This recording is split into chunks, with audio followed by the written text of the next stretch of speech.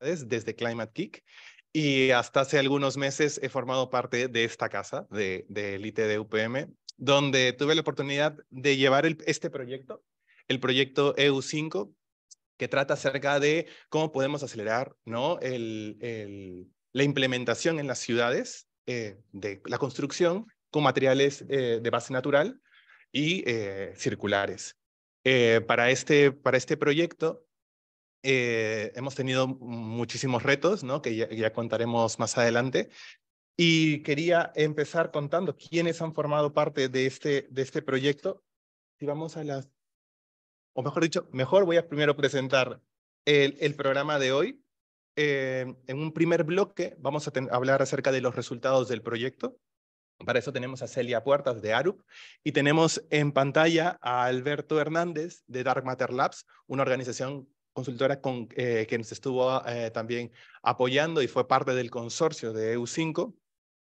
Y vamos a presentar los principales, o bueno, un, un abanico amplio ¿no? de, los, eh, de los resultados que tuvimos en el proyecto.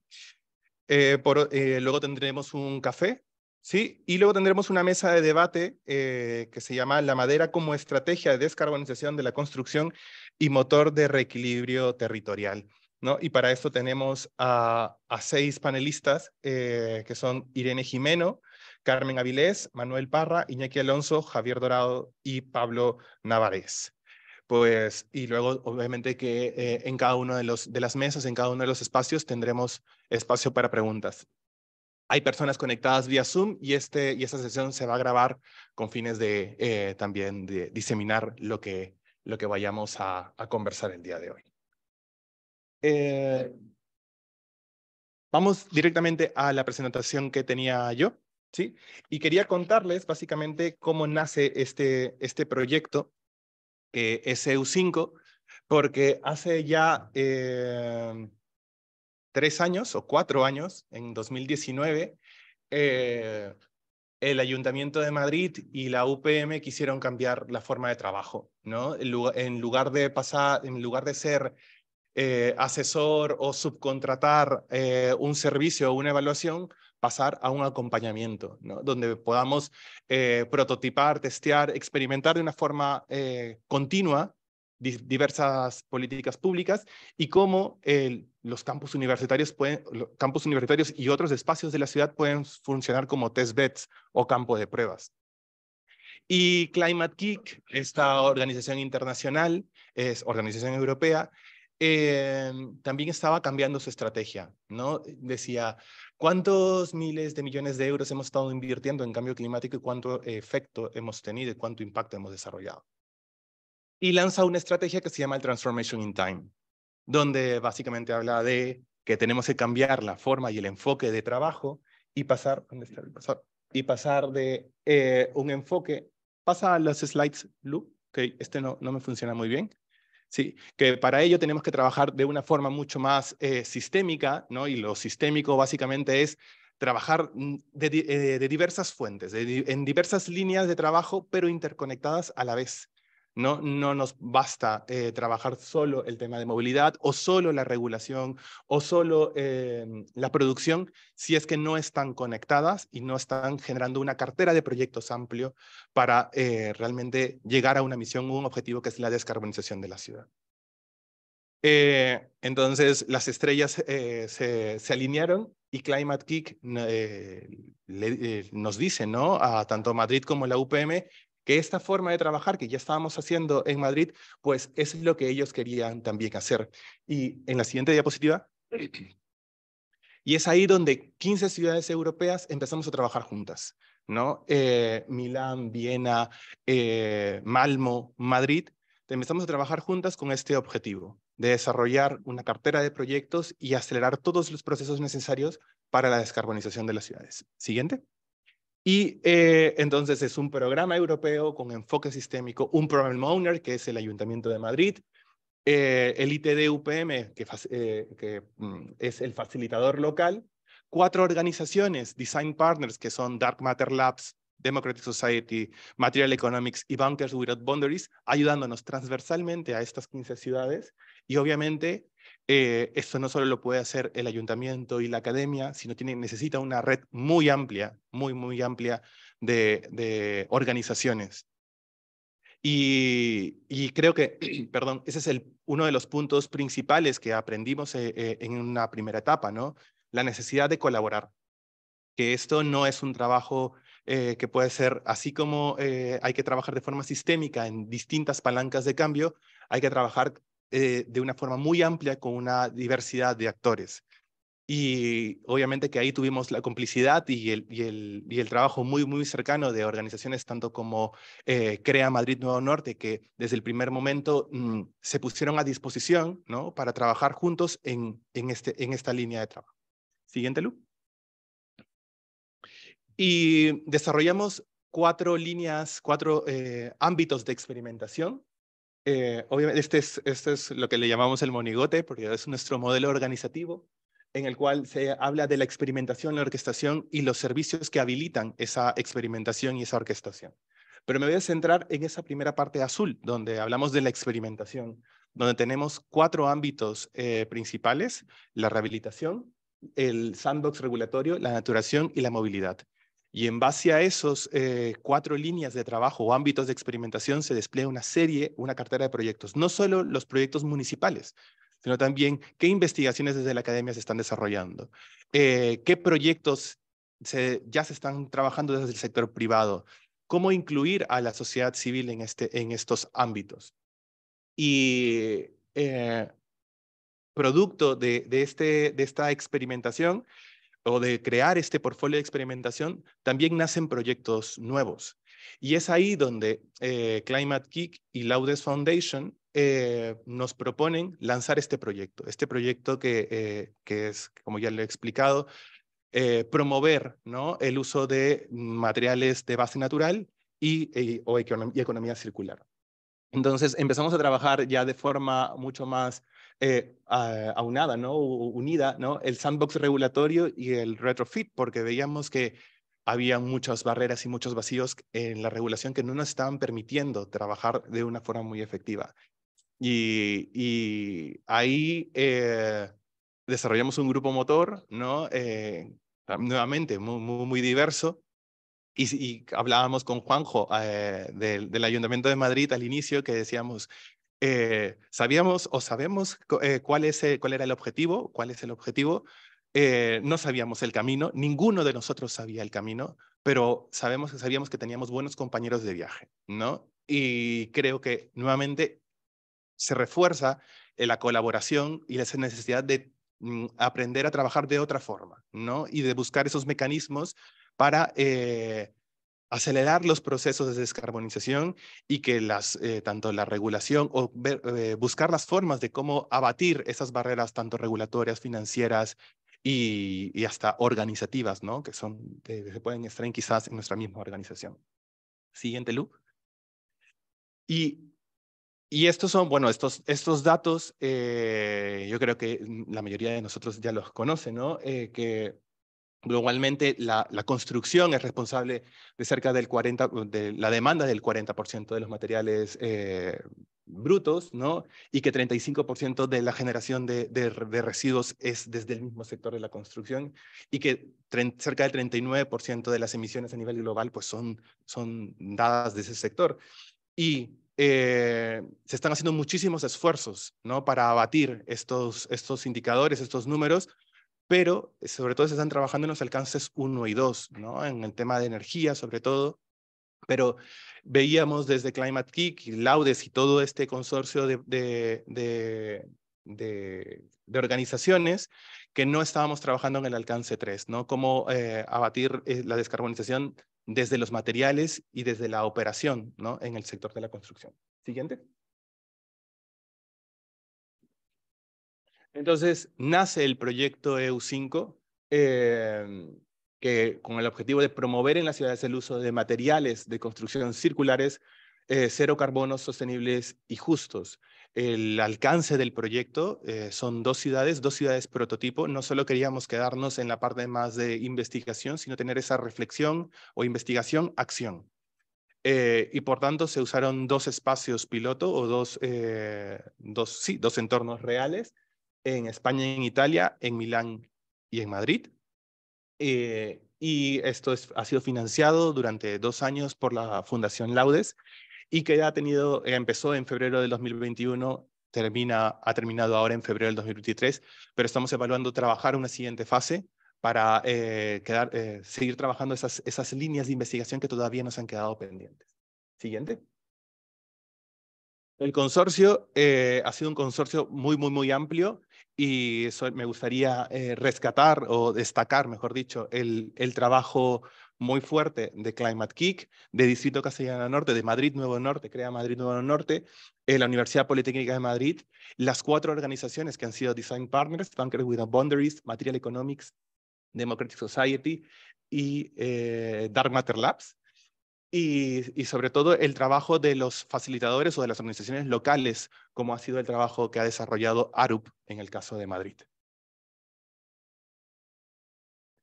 Entonces, e, iniciamos el trabajo también identificando cuáles eran esas eh, barreras sistémicas en el sector, ¿no? Y veíamos que principalmente eran eh, o que no nos estaba permitiendo trabajar de una forma efectiva o o cómo promover de una forma mucho más eh, fuerte que el uso de la madera y los, y los materiales de base natural en la construcción en Madrid, ¿no? En, estos dos espacios pilotos. Y veíamos que haciendo un proceso amplio de entrevistas, veíamos que uno de los principales inputs eran que los materiales son demasiado caros o, o, para el sector privado, que habían barreras de entrada para las empresas, eh, que, lo, que la cadena de suministros no era tan rastreable, es decir, que dentro del análisis del ciclo de vida, pues no se podía identificar claramente cuál era el, em, tanto la, eh, la recogida del material, la producción y toda la parte logística hasta el, su destino final. También veíamos que hay una falta de profesionalización en el sector no, eh, y la madera es uno de los principales, es decir, por ejemplo, en la UPM hay un máster de, construcción en madera y, hay muchísimo, eh, muchísimos estudiantes que eh, conocen del sector, pero es como que todavía vemos que es como que una luminaria, pero que aún no se ha, no se ha diseminado. Por otro lado, las bases de datos no están aunadas, no están eh, integradas, por tanto, llegar a, o hacer estos estudios completos resultaba muy, muy, muy difícil. Y por último, la regulación. ¿No? Siguiente. Luisa.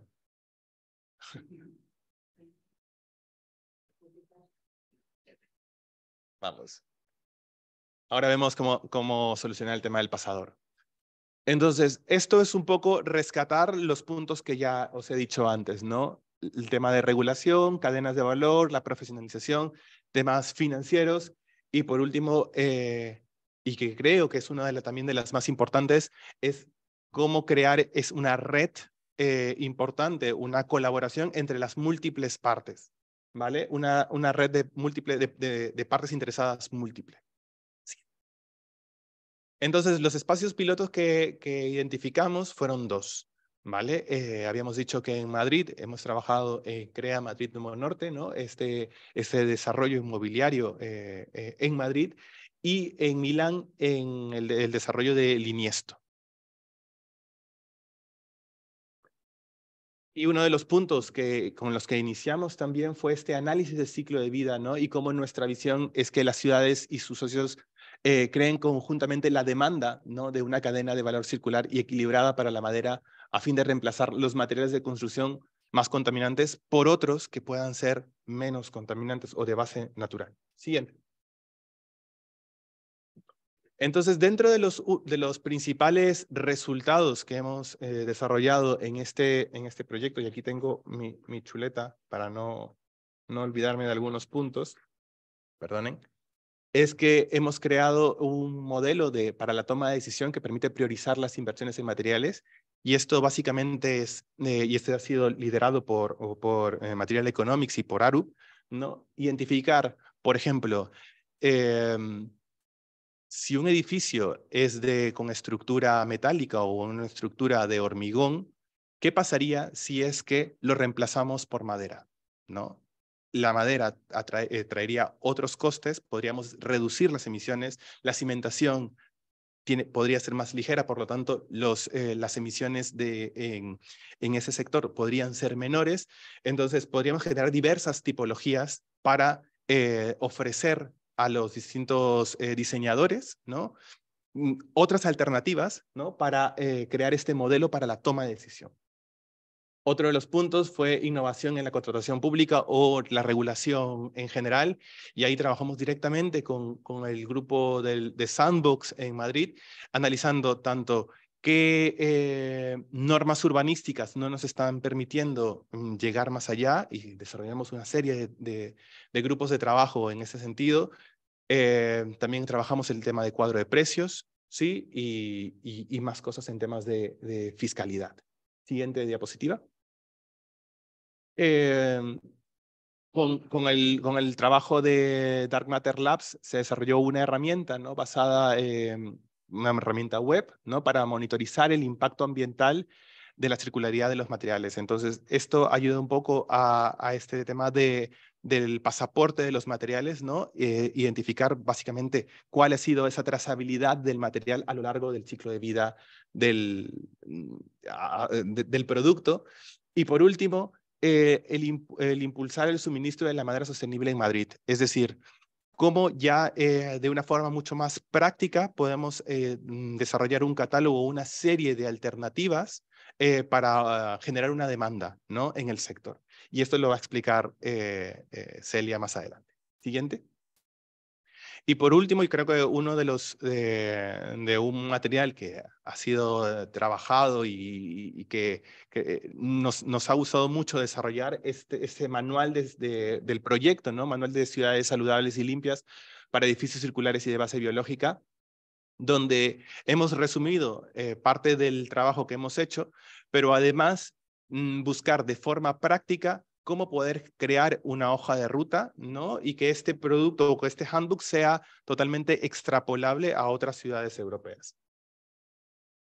Entonces, el handbook está en inglés, en italiano y en español, ¿no? Con el, con el trabajo del ITD se ha podido hacer una traducción de todo el, el, proyecto y de todo este documento, donde básicamente hacemos una ruta, ¿no? Eh, o establecemos un, un proceso ¿no? donde mapeamos, analizamos y diseñamos y vamos dando diversos pasos, paso, paso a paso, ¿no? de, cómo, eh, de cómo integrar los distintos agentes, qué acciones tiene que haber, eh, cuáles tienen que ser esos objetivos de cada de esas acciones, cómo testear, es decir, diseñar e implementar el, el portafolio de intervenciones, eh, tanto multinivel como multiactor, y por último, dentro de este proceso iterativo, cómo aprendemos y cómo iteramos. ¿Sí? Entonces, el, documento está construido, siguiente. El documento está construido eh, por cada una de estas eh, mm, partes, ¿no? Estos tres eh, grandes bloques. Y siempre vamos dando, ¿no? ¿Qué utilidad tiene este paso? Es decir, ¿para qué sirve? Y cuando hablamos de éxito o que, o que hemos llegado a un buen puerto en este paso, qué estudios de caso ya hemos se han desarrollado y que creemos que pueden ser útiles para poder replicar qué herramientas y mapeos eh, podemos poner a disposición, qué tareas eh, podemos dejar para que, ¿no? para que pensemos y reflexionemos y podamos aplicarlo. Y luego recursos, em, tanto de, de, citas o de otros documentos o de otros handbooks que también eh, se han desarrollado, así como un registro para que podamos ir apuntando nuestros avances en este paso a paso. Siguiente. Entonces, eh, ya no, no, me quiero extender porque realmente creo que me he ido, me he ido de tiempo. Em, los principales aprendizajes que hemos, eh, resultados y aprendizajes de este proyecto han sido comprender el rol de la edificación y en particular el del sector maderero, ¿no? el, sector, el sector de la madera en la construcción, poder proveer una serie de herramientas para la toma de decisión, ¿no? que poder facilitar a todo el sector privado y el sector público de herramientas para que mm, poder definir qué es, puede ser lo mejor y en qué momento.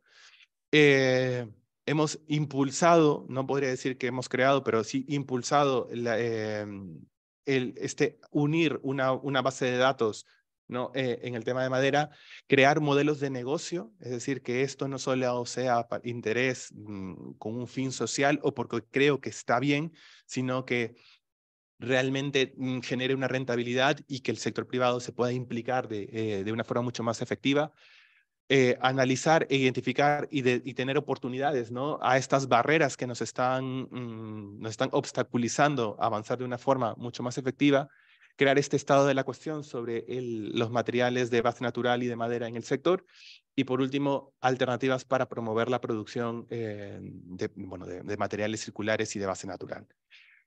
Algo que no he dicho y que creo que es fundamental eh, en todo esto es que eh, esto lo hemos desarrollado también en un proceso abierto, ¿no? Hablando, eh, bueno, lo he dicho con, con, entrevistas, pero también analizando cómo incluir población en situación de vulnerabilidad en este, en ese sector, ¿no? Que, que, veíamos que, que podía ser también una oportunidad para, por ejemplo, para esa falta de profesionalización y poder cubrir ambos gaps en el, en, en el sistema de la ciudad.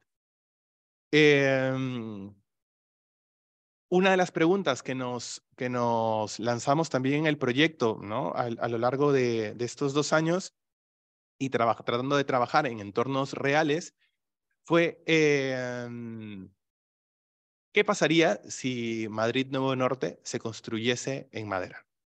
¿no? Y esa fue una de las principales eh, dudas ¿no? y cuestionamientos que nos hicimos y cuál podría ser el impacto en la ciudad si es que esto fuese así y qué tan viable puede ser.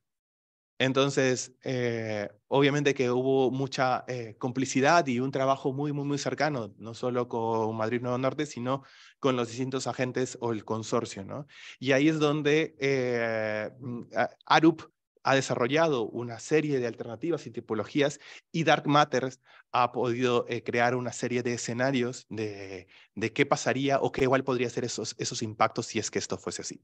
Entonces, eh, doy paso a Celia para que nos cuente eh, los principales resultados de esta primera. muchas gracias, Manu. Vamos a ver si es que esto funciona antes, a ver si es que lo podemos solucionar.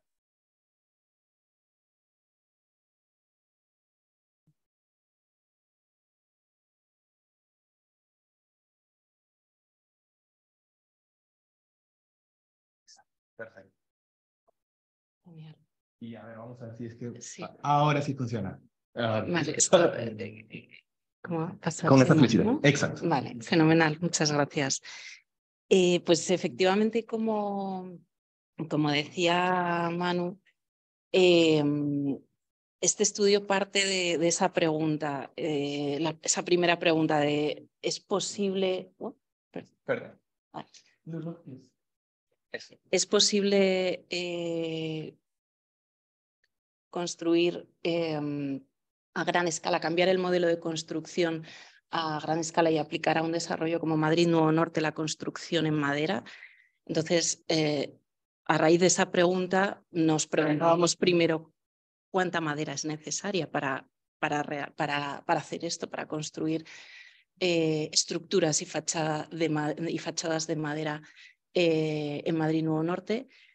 Eh, tenemos esa disponibilidad de madera para construcción en España y si no es así, ¿qué habría que hacer para, para que cambie el panorama?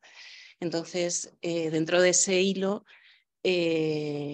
nosotros lo que desarrollamos es la, una respuesta a esa primera pregunta de cuánta madera sería necesaria, cuál es la demanda de madera necesaria para, para Madrid Nuevo Norte. ¿Qué pasa? Eh, ¿Nunca señala para allá? A ver. No, no, es el revés. Al revés, ¿no? Sí. Vamos a probar.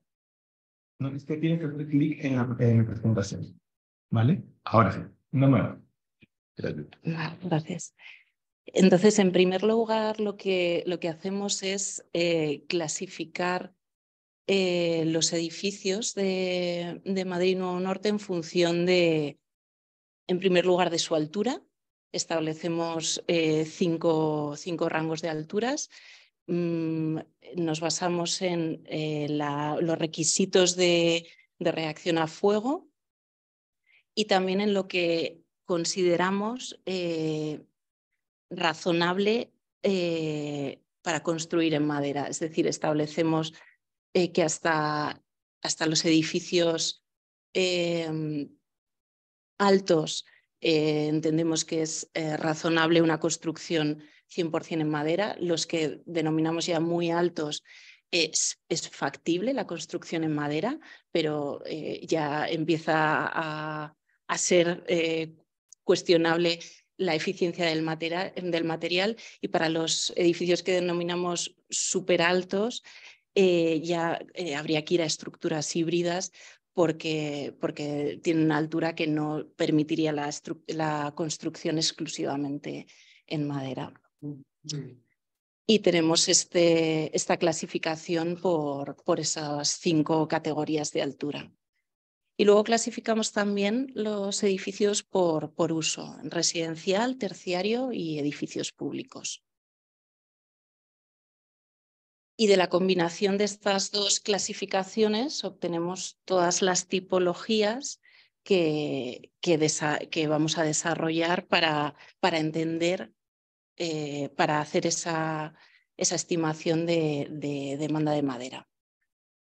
Entonces, eh, bueno, tenemos edificios eh, residenciales, terciarios y edificios públicos. Em, entonces, estudiamos los distintos sistemas estructurales que, consideramos que, son de aplicación eh, sistema estructural de entramado de vigas y pilares eh, que da una mayor flexibilidad, eh, pero tiene otras limitaciones, como por ejemplo los cantos de, forjado que pueden ser mayores o distribución de instalaciones. contemplamos también muros de, CLT, que, gracias a un sistema muy industrializado tiene un montaje muy rápido, muy sencillo, pero tiene también más limitadas las, las luces. Eh, y por último, el sistema híbrido, que es el que nos permitiría eh, llegar a alturas, eh, alturas mayores, donde tenemos una, unos pórticos de, hormigón armado o de acero y unos forjados que sí están basados en madera. Y luego a efectos de, forjados, estudiamos dos, dos tipologías, forjados de CLT, que igual que los muros de CLT tienen una gran facilidad de, instalación, rapidez, eh, pero tienen ciertas eh, limitaciones respecto a comportamiento acústico, comportamiento a fuego que se pueden resolver, pero son retos que hay que resolver. Y luego sistemas mixtos de madera-hormigón, que, que, digamos tiene la desventaja de que es un sistema en el que hay que eh, es necesario mezclar materiales y eso dificulta, por ejemplo, la separación al final de, la vida del edificio, eh, pero a cambio, pues eh, mm, todos estos eh, temas de, resistencia a fuego, comportamiento acústico, son más sencillos de, resolver. Y, en base a estos sistemas estructurales, establecemos las tipologías, que eh, creo que son 12 tipologías lo que tenemos con esa combinación de alturas y usos. Em, esto es un, ejemplo de aplicación a residencial de media altura y a oficinas de media altura. Eh, decir que eh, las hipótesis que hemos aplicado para, para edificios residenciales y terciarios en cuanto a crujías, luces, alturas libres son eh, diferentes y, eh, siguen la lógica del, del uso. Y, y, en el cálculo, en, la, en el predimensionado, no hemos considerado los sistemas de estabilidad. Eh, solo hemos considerado las cargas verticales y hemos asumido que los sistemas de estabilidad eh, pues eh, serán de hormigón o metálicos, no están eh, considerados en el, en el, estudio. Este sería otro, otro, ejemplo de residencial media altura también, pero en el que utilizamos muros de CLT y, y forjados de, mixtos de madera hormigón. Eh, en el caso de los edificios de oficinas, no hemos considerado. En el caso de edificios de oficinas, no hemos eh, contemplado el uso de, muros de CLT por la limitación de, para distribución interior, eh, pero sí hemos considerado tanto eh, forjados de CLT como forjados mixtos y para residencial hemos considerado todas las posibles soluciones estructurales. Y finalmente, este sistema híbrido que aplicamos a, las, estructuras eh, que llamábamos eh, eh, super altas, las, de la categoría más alta, donde tenemos o bien forjados de CLT o mixtos, pero la, la estructura portante son pórticos de hormigón o de acero. Y con esta misma lógica eh, establecemos los sistemas de, aplicación a fachada. Aquí establecemos para edificios de oficinas eh, muros cortina de montantes y travesaños, como montaje in situ, montantes y travesaños portantes de madera, eh, con una protección al exterior en, en aluminio. Y establecemos unos, unas ratios de, vidrio opaco del 60-40 y del 70-30. Jugamos con, con, dos opciones. Eh, y después para residencial consideramos eh, entramados ligeros de madera, eh, que son sistemas muy industrializados, que se llega con, con, el entramado, simplemente se ensambla en, en obra y luego lleva un aislamiento, un panel hacia el exterior, unos rastreles y una, y una fachada ventilada hacia el exterior. Y bueno, también contemplamos eh, fachadas de CLT, pero que digamos que estarían ya incluidas en el apartado estructural en, los casos en los que son de aplicación. Entonces, con la, con la combinación de, todas estas tipologías y todos estos sistemas, em, obtenemos el, resultado, tenemos un modelo interactivo en el que podemos ir seleccionando eh, con qué opción nos quedamos, si queremos eh, ver todos los usos o solo residencial, si queremos seleccionar forjado de CLT o, mixto. Eh, y tenemos, esta sería la imagen de, desde el azul hasta el rojo, de menor a mayor mm, volumen de, madera, eh, lógicamente los, edificios de mayor altura o, de mayor dimensión tienen una mayor demanda de madera. Y como resultados numéricos, pues vemos que para estructuras eh, van pues desde los Mm, desde un millón hasta un millón cuatrocientos mil aproximadamente metros cúbicos de madera para la, estructura, para la estructura de toda la edificación, contando con, con todas las tipologías y todas las, las alturas. Eh, ese sería un poco el, el, rango en función de las soluciones. Y para fachadas, eh, pues De la misma forma estaríamos entre, en torno a entre 60.000 y, y 80.000 metros cúbicos de, demanda de, madera. Hacíamos el ejercicio de comparar esta demanda, en este, eh, en este caso concreto para, para CLT, eh, con la producción anual de CLT en Europa y veíamos que, bueno, que la demanda es muy relevante. Eh, Madrid Nuevo Norte no se va a construir en un año, pero, eh, pero la demanda efectivamente es, eh, es de, tiene una gran, una gran relevancia. sí, comentar que esto es un estudio em, que está, se basa en estas tipologías, pero no deja de ser un estudio eh, teórico que luego pues, será necesario eh, ver en cada caso cuál es la lógica del material, cuál es la, cuál es la, altura óptima. nosotros decimos que para, para, edificios de baja y media altura es muy recomendable eh, eh, hacer este, esta apuesta por la construcción en madera y para mayores alturas ya requiere un estudio más detallado, más caso a caso para, para tomar esa, esa decisión. Vale, muchísimas gracias, Celia. Y una consulta, y aquí me salgo del guion porque me, me parecía súper interesante.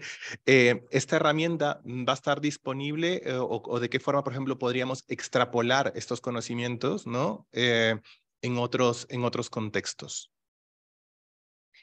Pues estas tipologías real, realmente no son específicas para Madrid Nuevo Norte, son tipologías que se podrían aplicar a cualquier desarrollo y se podría en base a, la demanda de madera por metro cuadrado construido, que son unos números que hemos, que hemos sacado, se podría utilizar para hacer estimaciones para cualquier desarrollo urbano. Genial. Genial. Vamos a tener un bloque de, preguntas luego de, de, todas las presentaciones, así que si tienen alguna, pues vayan, vayan apuntándola. Hay cerca de 11 personas conectadas vía Zoom, no lo había comentado, eh, así que también eh, les pediría que si tienen algunas preguntas, pues lo puedan poner a través del chat. Pues dentro de esta misma pregunta sobre eh, qué pasaría ¿no? si todo, todo Madrid Nuevo Norte fuese, fuese hecho en madera, la pregunta siguiente es, ¿y qué impacto tendría esto? ¿No? Entonces, es allí donde Alberto Hernández de Dark Matter Labs eh, eh, desarrolló, ¿no? junto con todo el equipo, eh, unos estudios también en base a, las bases de datos que tenemos disponibles, ¿no? una serie de, escenarios, ¿no? de cuáles podrían ser esos potenciales escenarios o, niveles de impacto que, que, sucedería si es que Madrid Nuevo Norte pues, fuese, fuese hecho de madera. Alberto, buenos días. ¿Qué tal? Buenos días. Muchas gracias por la invitación. Y ah, solo comparto mi pantalla y empiezo mi presentación. Sí, yo creo que mejor que comparta pantalla y, y él ya puede manejar su presentación.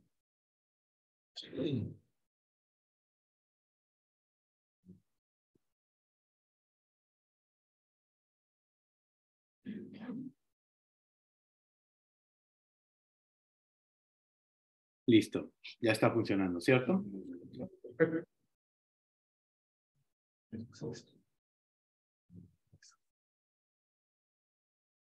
Entonces, ¿se me escucha bien y ya se ve mi presentación? Perfecto, Alberto, sí, te escuchamos. Perfecto, entonces, continuando con, con este tema, ya que Arupicelia en su presentación acaba de decir cuál fue la demanda estimada para construir todo con ah, madera estructural, nosotros lo que hicimos fue elaborar un análisis ilustrativo de qué pasaría, cuál sería el impacto económico y un poco vimos lo ambiental, de tratar de satisfacer esa demanda con oferta nacional. ¿No? Entonces, ¿qué pasaría si España pudiera implementar y producir esta cantidad de madera?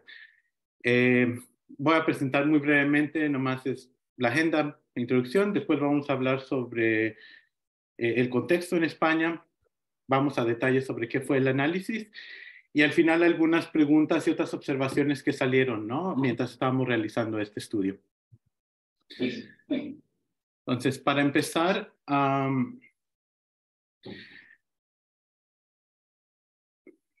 eso no, eh, eh, también como pongo muchos no, eh, tiene muchas restricciones porque todo el trabajo que hicimos, la mayoría viene de, es un estudio teórico. Estamos basados todo en toda la información que pudimos encontrar respecto a los bosques en España, a la industria forestal, a la transformación y todo esto.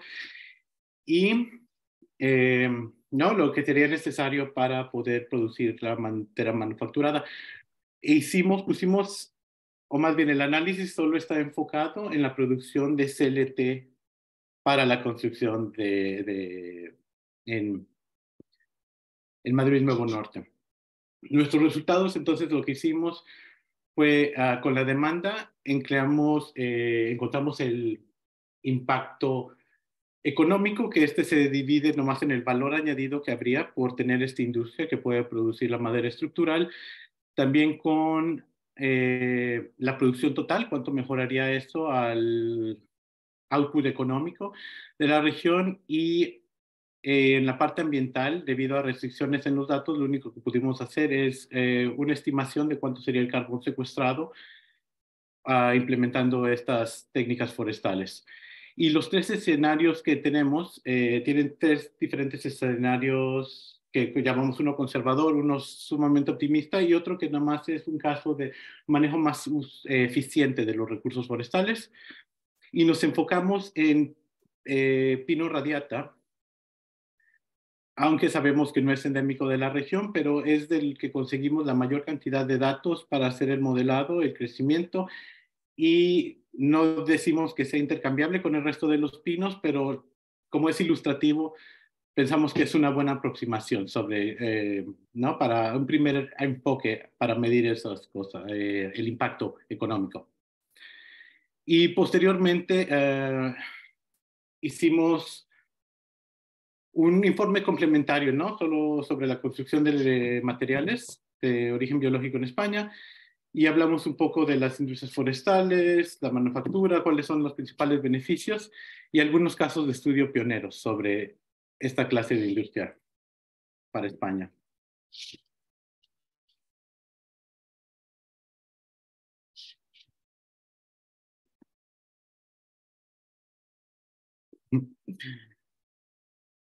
Ok, ahora no sé qué pasó aquí, perdónenme.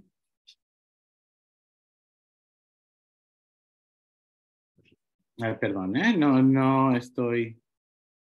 Estás abriendo el, el documento. Eh, sí, sí, pero, ah, perdón, no, no era mi intención, nomás ahora. Ah, vale.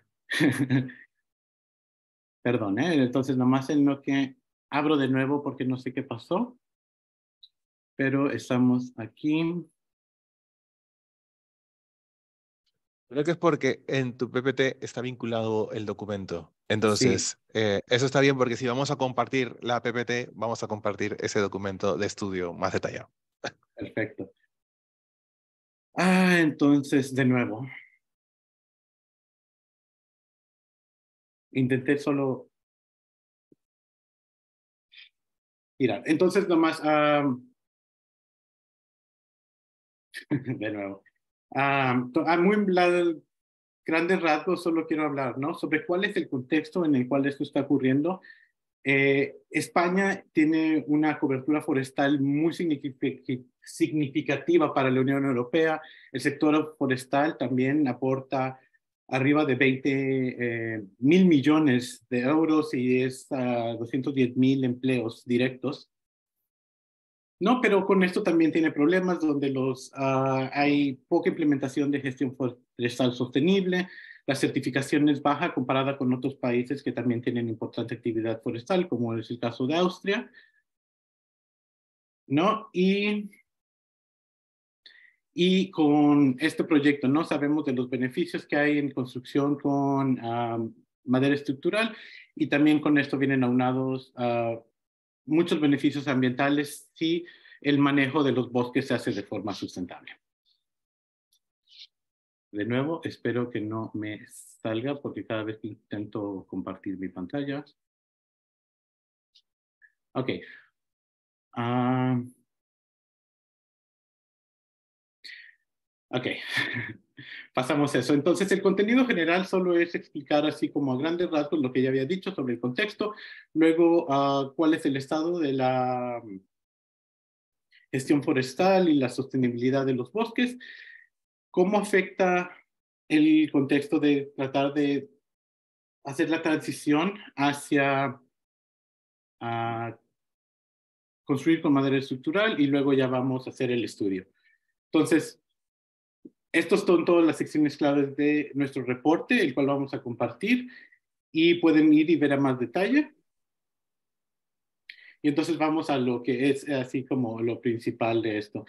Cuando eh, empezamos a hacer este estudio, la principal limitación que diría que encontramos fue la cantidad de datos disponibles para poder estudiar el sector forestal. La forma en que decidimos hacerlo es a través de, eh, de, de las matrices insumo-producto, porque esas hay disponibles. Y también ¿no? encontramos que la región de Castilla-La Mancha tiene recursos forestales subutilizados y está cercano a donde va a ser Madrid Nuevo Norte, donde sería el desarrollo que utiliza la madera.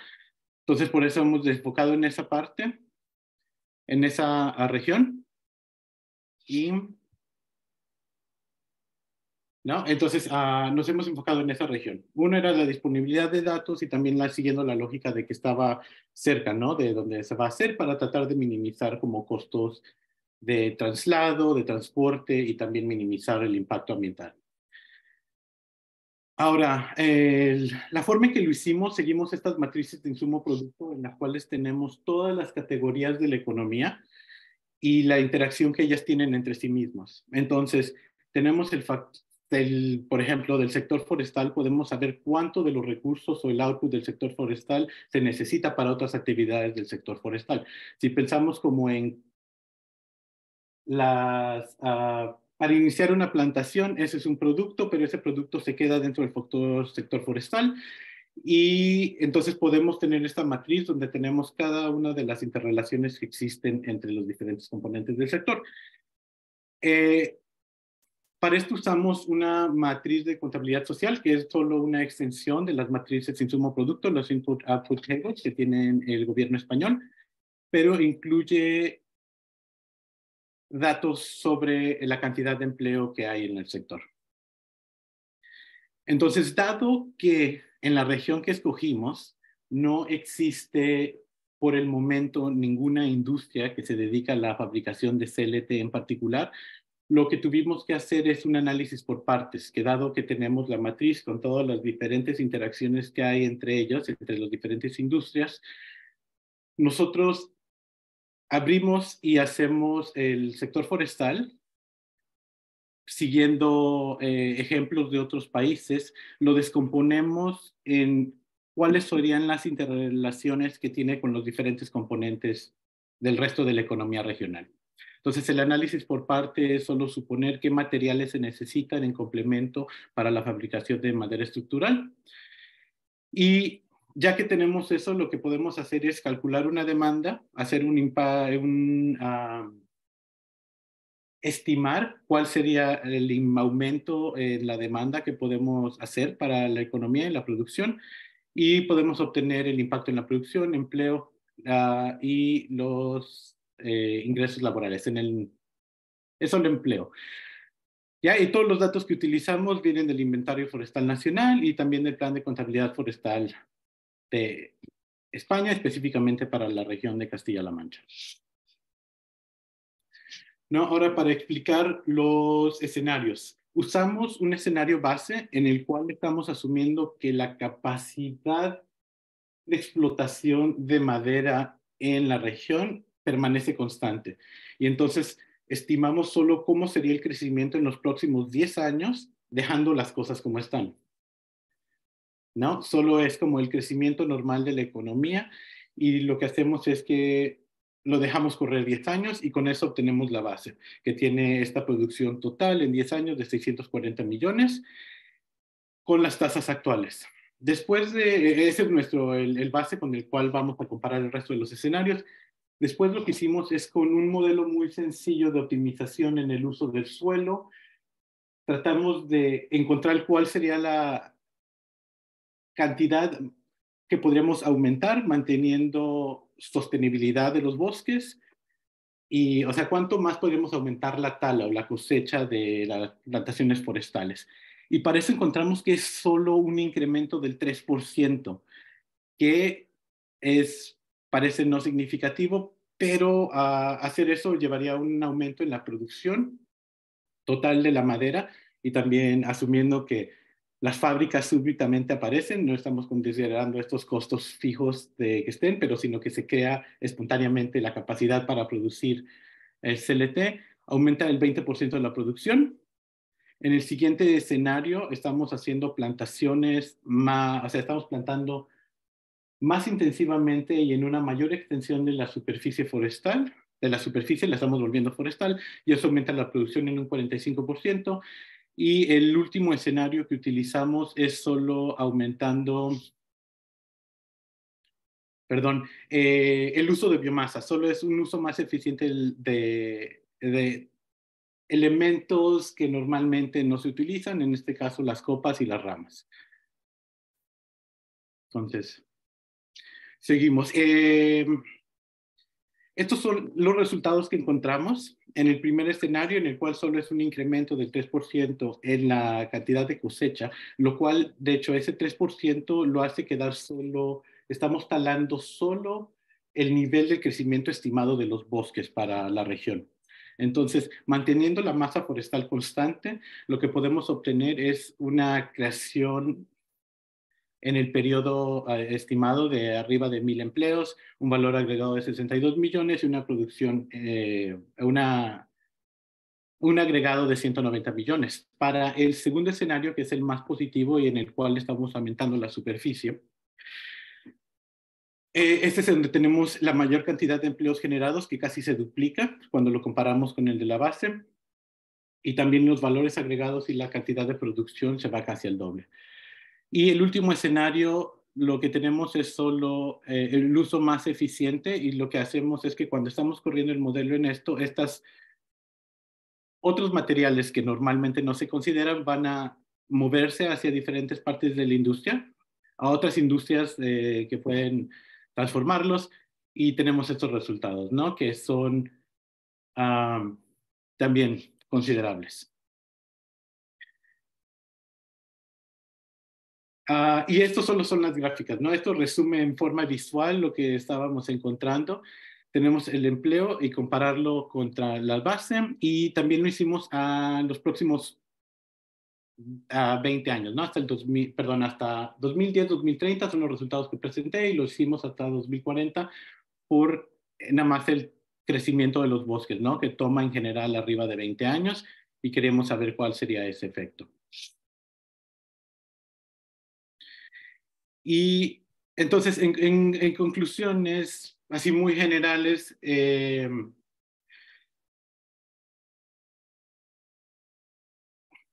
tenemos la cantidad de carbono incorporado que se podría reducir, o si se pudiera satisfacer, ¿no? Los 51 millones de metros cuadrados, 51 millones de metros cuadrados para Madrid Nuevo Norte, la reducción de materiales. Eh, y, más importante es cómo el valor económico podría afectar para nosotros la región de interés, cómo aumentaría esto, el Producto Interno Bruto de la región y también que pensamos que podría ayudar ¿no? el abandono rural si es que hay un desarrollo en la industria para la producción de madera estructural. También, eh, esto lo voy a pasar muy rápido porque esta no es mi especialidad, pero mis compañeros también incluyeron en este reporte cláusulas para la contratación pública que ellos creen que serían relevantes y casos de estudios que podrían servir como guías para poder implementarse en España, ¿no? Y tener esa clase de desarrollo forestal. Cosas que encontramos y que tuvimos problemas es en cuando estábamos haciendo el modelo y la cantidad de datos que estábamos, es muy difícil poder diferenciar entre la silvicultura sostenible. Hay, eh, el modelo es muy sencillo y no considera paisajes de mosaico, que sería tener diferentes clases de árboles, que sería lo ideal, que tienen mayores beneficios ambientales. Y e, estos dos últimos puntos, la eficiencia a largo plazo y la reutilización de madera, son como más en general y en tono con el resto del, del ah, proyecto, ¿no? no particularmente para esto. También encontramos, ¿no? como había dicho, eh, esto es ilustrativo, el acceso a los datos eh, puede ser una cuestión importante que impacta a los hacedores de política. Y no, eh, también para poder diseñar y desarrollar esta clase de cosas hay que crear incentivos, hay que conocer a los actores forestales y encontrar la forma en que puedan participar. Y también ¿no? el, hecho de que puedan existir los fabricantes de madera que produzcan esta cantidad que sería demandada. Y, y finalmente pueden escanear el código y el, el, documento completo se encuentra ahí. Esto fue así como muy superficial probablemente, pero todos los datos y el desarrollo del estudio está en, ahí, ¿no? Pues si gustan leerlo.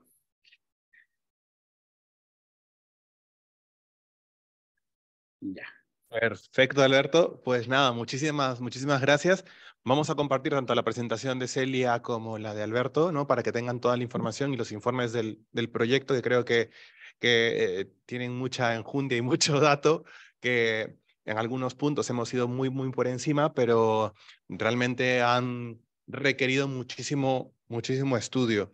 Y quiero detenerme en las últimas cuestiones que hablaba Alberto y también Celia con respecto a estas limitaciones que han visto no solo en el proceso eh, de desarrollo, sino también eh, a lo largo del proyecto. Es decir, eh, han habido entrevistas a distintos actores del sector, por ahí tenemos ciertos inputs que, que, han podido recoger y también dentro del proceso de investigación ¿no? y, y desarrollo de estas herramientas. ¿Cuáles creen que pueden ser eh, estas futuras líneas de trabajo o hacia dónde tendríamos que conducirnos? Empezamos por, por Celia. Pues em, en base, como dices, a, a, las entrevistas que se han hecho durante el proceso, eh, hemos visto que en el sector forestal, en la silvicultura, Em, hay todavía muchas barreras para, para, avanzar en la transformación a, a, un modelo de más valor añadido eh, del uso de los recursos forestales, de, eh, como por ejemplo el uso de madera para construcción, eh, y, tienen y, vienen de, muchas, de, de, diversos factores, como una mm, propiedad eh, del suelo forestal muy desagregada, eh, barreras burocráticas, eh, dificultades para asegurar esos espacios forestales ante plagas, incendios. Entonces, lo, que, lo que vemos es que se está intentando buscar un asociacionismo para, para unar esfuerzos tanto en el sector forestal como en el de productores de, de, madera de construcción y es algo en lo que, en lo que yo creo que, se, que es muy interesante seguir trabajando en, en, los próximos años para impulsar este sector. Genial. Alberto, hablabas también de, del tema de los datos, ¿no? Y cómo, sí. eh, y cómo construir estos datos, de, o sea, primero, una base, una base de datos integrada, y también de cómo estos datos pueden permitir visibilizar que, eh, que, es, que tiene un modelo de negocio, es decir, que puede ser rentable eh, y, que puede, y que es viable eh, trabajar en madera. Sí, sí, a, mí me parece sobre todo el nivel social, cuando podemos ver o estimar el impacto que tendría ¿no? A, al nivel regional esto, eh, uno incentiva a los gobiernos a hacer mayor inversión en eso y también presenta, ¿no? Los datos pueden hacer de interés a industria privada o a la gente que quiere invertir en tratar de fomentar esto, ¿no? Sabiendo que hay rendimientos que se pueden utilizar, ¿no? Mm. Y también dentro de en conversaciones previas que hemos tenido entre Celia, Alberto y yo para preparar un poco esta, esta conversación, hablábamos también de esa necesidad de trabajar como en múltiples niveles, ¿no? No solo eh, la administración pública, y llámese el ayuntamiento, va a poder hacer todo, ¿no? Porque hay unas barreras regulatorias que ya trascienden lo autonómico, lo nacional y lo europeo. Entonces, eh, hablamos también de ese trabajo multinivel, ¿no? Eh, que, que, es necesario reforzar y que hay que empezar a, promover. Quiero, no me quiero extender mucho y quiero dar eh, tiempo para, si es que hay algunas preguntas. Vale, tenemos a Carmen Avilés, que también va a formar parte de la, de la segunda mesa eh, de diálogo y que tiene una pregunta. A ver, buenos días, Carmen, ¿cómo estás? Qué pena no, no tenerte hoy por aquí. Hay que activar el, micrófono de Carmen. Ahora sí. Ah, ahora no, espera, que tu micrófono nuevamente. Carmen, tu micrófono. Ahora, sí. Fenomenal. Eso. Pues muchas gracias, Manu. Pues, vamos, es un placer para mí estar en esta jornada y además desde el principio hasta el final para, para aprender todo lo que, lo que habéis estado haciendo en este proyecto tan sumamente interesante.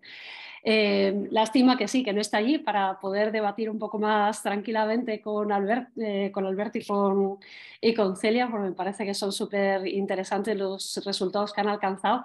Pero bueno, eh, me lanzo. Eh, bueno, eh, soy profesora de la Escuela de Montes, entonces me ha resultado bastante curioso ciertos aspectos que ha comentado Alberto respecto de los resultados alcanzados y las eh, afirmaciones que ha realizado. Por ejemplo, el tema de que eh, España se deforesta eh, no necesariamente es así. de hecho, se incrementa la superficie forestal según los inventarios forestales que ha ido habiendo en los últimos años y demás, lo cual es una, es una alegría. Otra cosa es que se saque el máximo provecho de esta superficie forestal que sea arbolada, que además sea, sea aprovechable. ¿no? Entonces, bueno, yo quería, más que una pregunta, a lo mejor es un comentario a la hora de, saber cómo habéis realizado vuestro el estudio vinculado con el, eh, el potencial que tiene Castilla-La Mancha para satisfacer eh, o para poder promover esa generación de empleo, de mayor superficie eh, necesaria para generar o para satisfacer esa demanda que, creciente de CLT en un momento determinado. Más que nada porque, bueno, te, te comento, He estado coordinando los últimos tres años precisamente en Cuenca un proyecto de promoción de emprendimiento. Aquí estamos hablando del libro, ¿no? Eh, y uno de los, de los, negocios que se han puesto en marcha es la creación de una industria CLT basada en la explotación del pino raricio. Entonces, que es, además es el que mayor superficie forestal tiene no solamente en Cuenca, sino también en Castilla-La Mancha. Entonces, bueno, por un lado, eh, planteo el ofrecimiento a lo mejor a colaborar o a establecer esos elementos de esos nexos entre los dos proyectos, porque pueden ser muy relevantes a la hora de generar esa parte de empleo y esa parte de, potencial para, para, la construcción. Y por otro lado, la pregunta que yo, yo quería hacerte es por qué os habéis centrado en el Primos radiata que tiene muy poca eh, superficie en, Castilla-La Mancha frente a otras especies de pino que a lo mejor eh, también tienen un resultado y un rendimiento interesante a efectos de construcción, eh, pero no tiene, o sea, y tiene además mayor superficie. Entonces, el elegir expresamente el radiata, que tiene una superficie, si no, recuerdo mal, que además hemos estado haciendo un estudio eh, vinculado a esto, pues no sé si llega al 5% de superficie forestal del Pinus radiata frente a otros que son muchos más y que también, eh, ya digo, eh, aunque no hay estudios científicos que lo avalan, pero también da unos resultados estupendos a la hora de fabricar CLT, como es el aricio. Ah, gracias, Carmen. No, perfectamente. O sea, también muchas gracias por la extensión de la invitación. Estoy estaría fascinado de poder colaborar con esto. Y ahora, el siguiente, sobre Pinus radiata, curiosamente fue una cuestión más pragmática porque fue el hecho de que conscientes de que era muy pequeño, pero encontramos que era como el que satisfacía la mayoría de las condiciones necesarias para CLT y teníamos los datos disponibles y cuando quisimos hacerlo con el resto de los pinos tuvimos trabajo tratando de modelarlo por la falta de datos, entonces por eso nos quedamos con Pinus radiata que estoy completamente de acuerdo que es una especie quizá no tan significativa para la región, pero por eso el, el análisis fue así completamente ilustrativo, digamos, ¿no? La, sería ideal poder cambiar y también hacer como no solo monoespecies, sino poder incluir las otras variedades que sean aptas para la construcción de madera estructural. E, e, eso es, la explicación, la mayor explicación. ¿sí? Es que me ha sorprendido ese, ese, enfoque tan, tan expreso. ¿no? Lo que sí es cierto es, obviamente, un poco haciendo eco de lo que ha estado comentando Celia respecto de las, eh, los problemas que tiene el sector forestal, pues son muchos, es cierto, se están haciendo muchas labores para poder generar mucho más impacto y más agrupación y más certificación forestal que al fin y al cabo pues determine que, esa sostenibilidad que pueda, pueda tener la madera eh, más allá de lo que creemos que la tiene y lo creemos yo creo que a pies juntilla. Em, entonces, bueno, me parece que estudios como los que habéis realizado y el, el proyecto, tal y como está establecido, pues me parecen súper interesantes para poder continuar promoviendo un sector que tiene que aportar mucho y aporta mucho a, esta situación de cambio climático. Por lo cual, pues felicitaciones por mi parte. Ya digo, luego nos intercambiamos correos y, nos contactamos para poder hacer un, Eso dalo por hecho, Carmen. Fenomenal. Muchísimas gracias, Manu. Vale. Gracias. No sé si hay más preguntas aquí en sala. Eh, Iñaki, a ver, eh, yo me muevo eh, no, para que quienes estén en, Zoom puedan escuchar. Confirmar el, dato que comentaba Carmen Avilés, que yo también tenía en la cabeza que la masa forestal en España ha aumentado un 30% en los últimos 50 años, ¿no? Y me ha chocado el, el dato que, que planteaba Alberto de, de esa reducción de 1,6 hectáreas en masa forestal. Es curioso que quemamos 50.000 hectáreas al, año, entre 50, el año pasado 200.000 eh, por incendios, pero la masa forestal sigue ha ido aumentando en los últimos 50 años. Perfecto, gracias Iñaki. ¿Algún comentario adicional por aquí? ¿Nada? Vale, pues eh, yo voy a dejar el, el, comentario, o me voy a quedar con el último comentario de Carmen sobre esa necesidad de colaborar entre, entre distintas partes, ¿no? Eh, y creo que también, y, retomo el, punto inicial de, de mi presentación, hablando de esa necesidad de trabajar de una forma distinta, ¿no? De, de no, no, trabajar en estos hilos, ¿no? De, solo desde la academia crear el, el, la investigación desde una forma, desde un enfoque puramente teórico, sino mm, contrastarlo y respaldarlo tanto con los tomadores de decisión, ¿no? En, en caso de las administraciones locales, autonómicas, mm, nacionales, etcétera, etcétera, y también con el sector privado para ver cuál puede ser la forma más efectiva, eficiente y real eh, para poder descarbonizar el sector de una forma amplia, ¿no? En, en todos los alcances. Pues lo dejamos aquí. Tenemos un café eh, de 15, 20 minutos. Para quienes estén conectados, si desean, apagan la cámara, nos quedamos por aquí y lo retomamos a, Luisa, me dices, a 12 y... No, no, no, son 11.48 tampoco. 20 minutitos, o sea, a a, a 12 y 10, ¿vale? ¿Les parece? Genial, muchas gracias.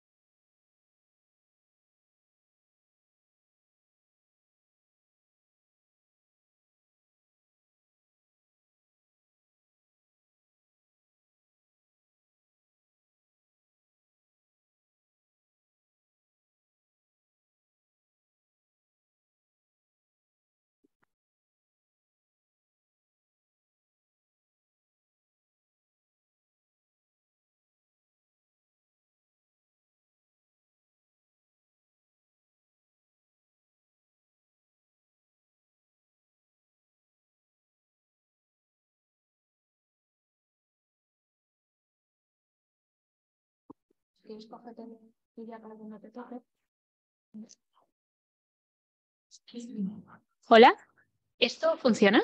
¿Se me oye? Ah, vale, es que me escucho igual. Ah, vale, perfecto. Bueno, buenos días a todos. Los que estáis aquí, los que nos estáis viendo desde casa, muchísimas gracias por acompañarnos en la culminación de estos dos años de exploración conjunta en el marco de la primera fase del proyecto EU5 financiado por la Fundación Laudes.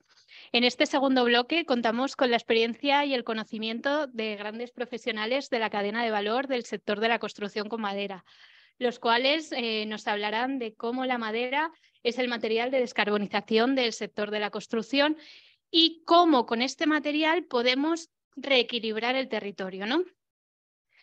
Eh, yo soy Irene Jimeno Guadalix, arquitecta y responsable de la plataforma digital de divulgación, formación y asesoramiento técnico Toca Madera Soundswood y hoy aquí en este encuentro seré la moderadora de este segundo bloque, el cual finalizará con un pequeño tiempo de debate y una ronda de preguntas con todos vosotros. Los que estéis en casa también podéis participar.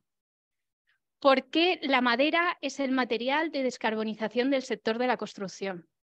En Europa, este sector genera el 30-40% de las emisiones totales de dióxido de carbono y la madera es el único material capaz de reducir de forma eficaz y sencilla las emisiones de CO2.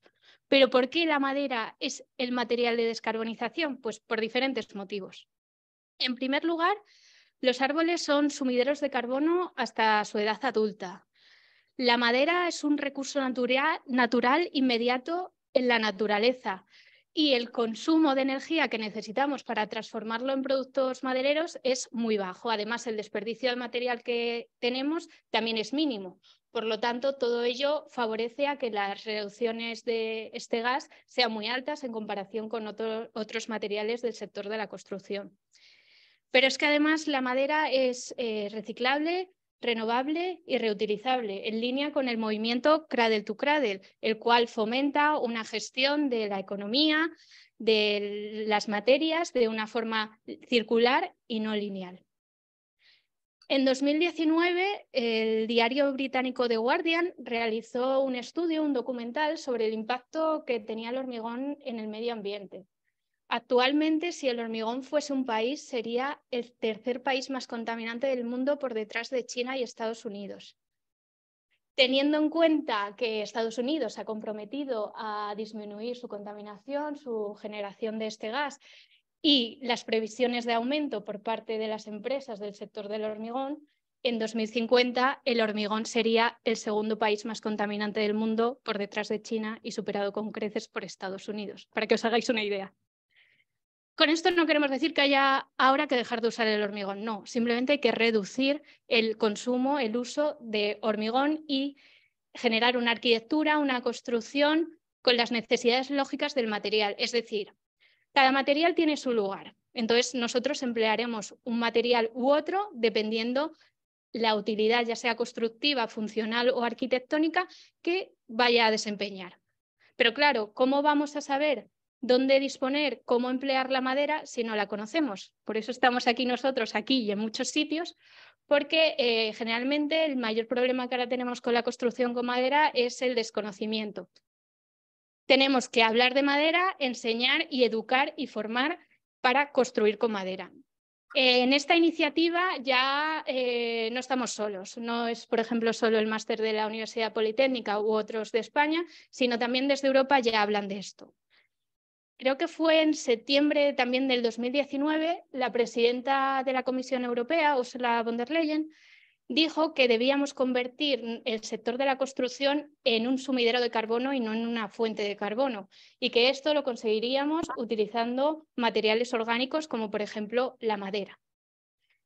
A esta iniciativa se han sumado otros políticos, otras administraciones, como por ejemplo Macron, la Junta de Galicia, el Gobierno vasco, por ejemplo, nuestro territorio. ¿Qué debería suceder para que esta iniciativa fuese también aplicable en otros países o en otras regiones de nuestro país? Pues que pasase exactamente lo mismo, que desde el ámbito político y administrativo lo quieran impulsar construir con madera no es solo apoyar una arquitectura, una construcción sostenible, sino también es activar el motor del cuidado, el mantenimiento y el aprovechamiento de los bosques.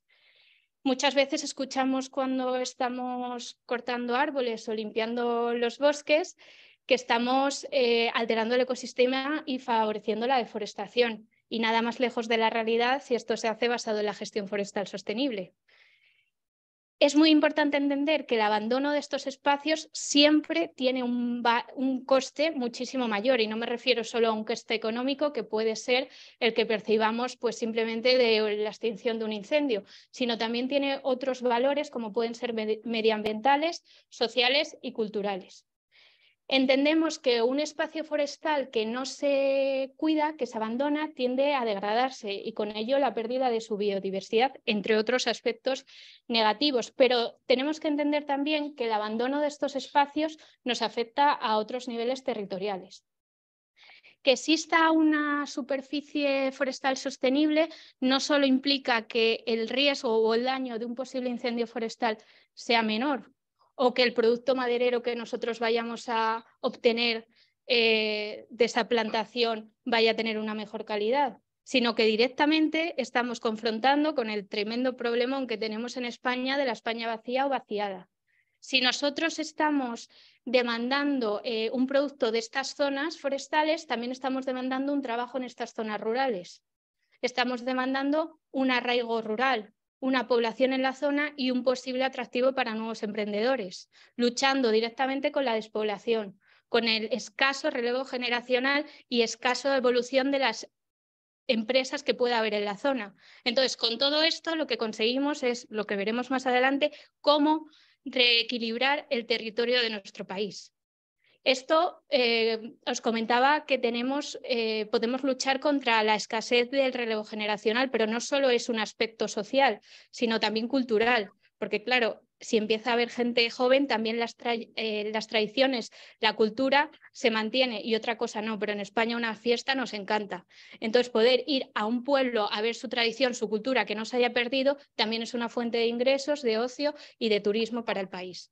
Estas son algunas de las estrategias que nos posibilita la construcción con madera, pero vamos a ver muchísimas más. En relación con la gestión forestal sostenible, hoy tenemos la suerte de contar con Carmen Avilés, que nos está siguiendo de forma telemática ella es profesora titular de Organización, Administración de Empresas y Estadística de la Universidad Politécnica de Madrid, en la Escuela Técnica Superior de Ingenieros de Montes, Forestal y del Medio Natural. Así que, Carmen, cuando puedas, nos cuentas tú qué opinas sobre este tema. Muchas gracias. Hola Irene, muchísimas gracias a ti por la presentación, que yo creo que además es, es excelente la que has hecho eh, enmarcando el que es el objetivo de esta, de esta mesa redonda. Bueno, agradezco también al resto de, participantes en la mesa, sobre todo el, bueno, el no poder estar ahí con vosotros, eh, pero bueno, eh, vamos allá. A ver, obviamente, nosotros cuando hablamos de gestión de bosques tenemos que tener en cuenta varios aspectos. En primer lugar, el para qué. El para qué es, bueno, pues resolver esos grandes problemas que, como bien has comentado, están encima de la mesa, pues esa parte de, qué hacemos con el cambio climático, qué hacemos con la pérdida de biodiversidad y qué hacemos con esos otros grandes problemas mundiales que nos están afectando y que además pues están generando incluso una ecoansiedad bastante interesante. ¿no? Pues ante esos grandes problemas lo que nos queda es utilizar las herramientas que tenemos disponibles presentes y futuras, sin más. Dentro de esas herramientas, una de ellas muy potente es la bioeconomía. ¿Cómo podemos hacer para eh, reducir o utilizar los recursos naturales que tenemos y satisfacer al mismo tiempo las necesidades cada vez crecientes que tenemos. Bueno, podemos reducir las necesidades, esas necesidades crecientes y de esta manera pues consumiríamos menos o podemos hacer mucho más eficiente el consumo de esos recursos. Para eso incorporamos el aspecto de la bioeconomía. Fijaos que a lo mejor estoy dando una vuelta, pero llegaremos al meollo. Esa bioeconomía lo que nos permite es gestionar de manera sostenible los recursos naturales para que demos satisfacción a las necesidades que la sociedad actual eh, requiere sin eh, por ello lastrar el crecimiento sostenible y eh, lastrar, por tanto, las futuras generaciones y puedan seguir disponiendo de esos recursos naturales. Obviamente, para poder hacer uso de esos recursos naturales, nosotros lo que tenemos que hacer fundamentalmente es no esquimarlos, y permitir un proceso de regeneración si es que tienen ese proceso de regeneración. Entonces, dentro de los recursos naturales nos encontramos con dos tipos, los que se regeneran y los que no. Los que no los conocemos, los, eh, pues, todo lo que tenga que ver con la economía fósil, el, carbono, el petróleo, pues tendremos que desecharlo porque cada vez hay menos y cada vez entonces pues podremos hacer un peor uso o más caro de esos recursos. Si nos centramos en los recursos naturales que se pueden renovar, pues tendremos que hacer un uso adecuado de manera que le demos el tiempo necesario para que se regeneren si es que tienen que regenerarse. Es decir, hay algunos que no se regeneran, la luz del sol es permanente, bueno, acabará, según dicen, dentro de miles de millones de años y no lo veremos. Pero luego hay otra serie de recursos que sí se regeneran y que tienen plazos de regeneración pues, más escasos. Por ejemplo, eh, nos vamos a, los, bosques, a la madera. Y ya fijaos, ya estoy centrando el tiro. En esos recursos renovables que se regeneran, que son de stock, que nosotros vamos eh, regenerando a lo largo del tiempo, lo que tenemos que dar es el tiempo necesario para que nazcan, crezcan, se reproduzcan, se utilicen y mueran. Y empiece otra vez el ciclo vital que tienen estos recursos. Y es ahí pues, donde tenemos que hacer un hincapié bastante alto. Entonces, ante el gran problema que tenemos, vamos cargando peso en una balanza, imaginaos, de todos los problemas de descarbonización, de, esa, eh, de ese cambio climático, de la pérdida de biodiversidad, que va lastrando mucho nuestra balanza, tenemos por otro lado una palanca que es el uso de la bioeconomía, el uso sostenible de los recursos naturales para ¿Qué ocurre? Que para poder mover esa palanca nosotros necesitamos algo en medio, que es un apoyo, y esto es Arquímedes puro. Ese apoyo yo lo, cifro en esa gestión sostenible del recurso natural, que es donde quiero llegar. ¿Qué podemos hacer cuando queremos gestionar de manera sostenible los recursos naturales? Pues precisamente eso, gestionarlos de manera sostenible. Y eso requiere pues, de saber primero qué es lo que, qué es lo que hay, qué es lo que tenemos, tendremos que hacer un inventario, saber cuáles son nuestros, eh, nuestras capacidades eh, de producción, para qué las necesitamos. Por ejemplo, en la mesa anterior, eh, Alberto nos comentaba de esas necesidades, de esa proyección de necesidades de madera requeridas para poder dar satisfacción a lo que va a demandarse los próximos años para construir en madera. Y obviamente tenemos que empezar a equilibrarlo. Si queremos construir mucho en madera, pues tendremos que empezar a plantar desde ya para que dentro de 20 años tengamos la materia prima necesaria para. Entonces, esa gestión, eh, en este caso sostenible de los recursos naturales, si lo centramos en el caso de los montes, pues es más que necesaria para poder ver, por un lado, lo que tenemos, lo que necesitamos y qué es lo que hacemos para que se pueda aprovechar de la mejor manera. Hasta ahí, una primera aproximación. La segunda que os quería comentar es que mm, cuando hablamos del bosque, y el bosque es, eh, por ejemplo, aquí en España, pues simplemente así como dato curioso, somos el tercer país en superficie forestal de Europa, por detrás de Suiza y de Finlandia, así como, como, como dato. ¿no? Vamos incrementando cada vez más la superficie forestal, pero esa superficie forestal, esa cantidad de, superficie forestal que se va generando en España, hay que eh, gestionarla para que dé el servicio adecuado. Ese servicio adecuado fundamentalmente se basa en tres grandes aspectos. Por un lado está el, servicio protector que tiene el monte. Oye, pues necesitamos el monte para, por ejemplo, proteger la biodiversidad, el aire que respiramos cada día, el agua, la biodiversidad eh, faunística o de flora Podemos tener un segundo uso que es el cultural. Oye, ¿cuántas veces nos hemos ido, por ejemplo, a mitad del monte a, disfrutar de un, buen espacio, una tranquilidad?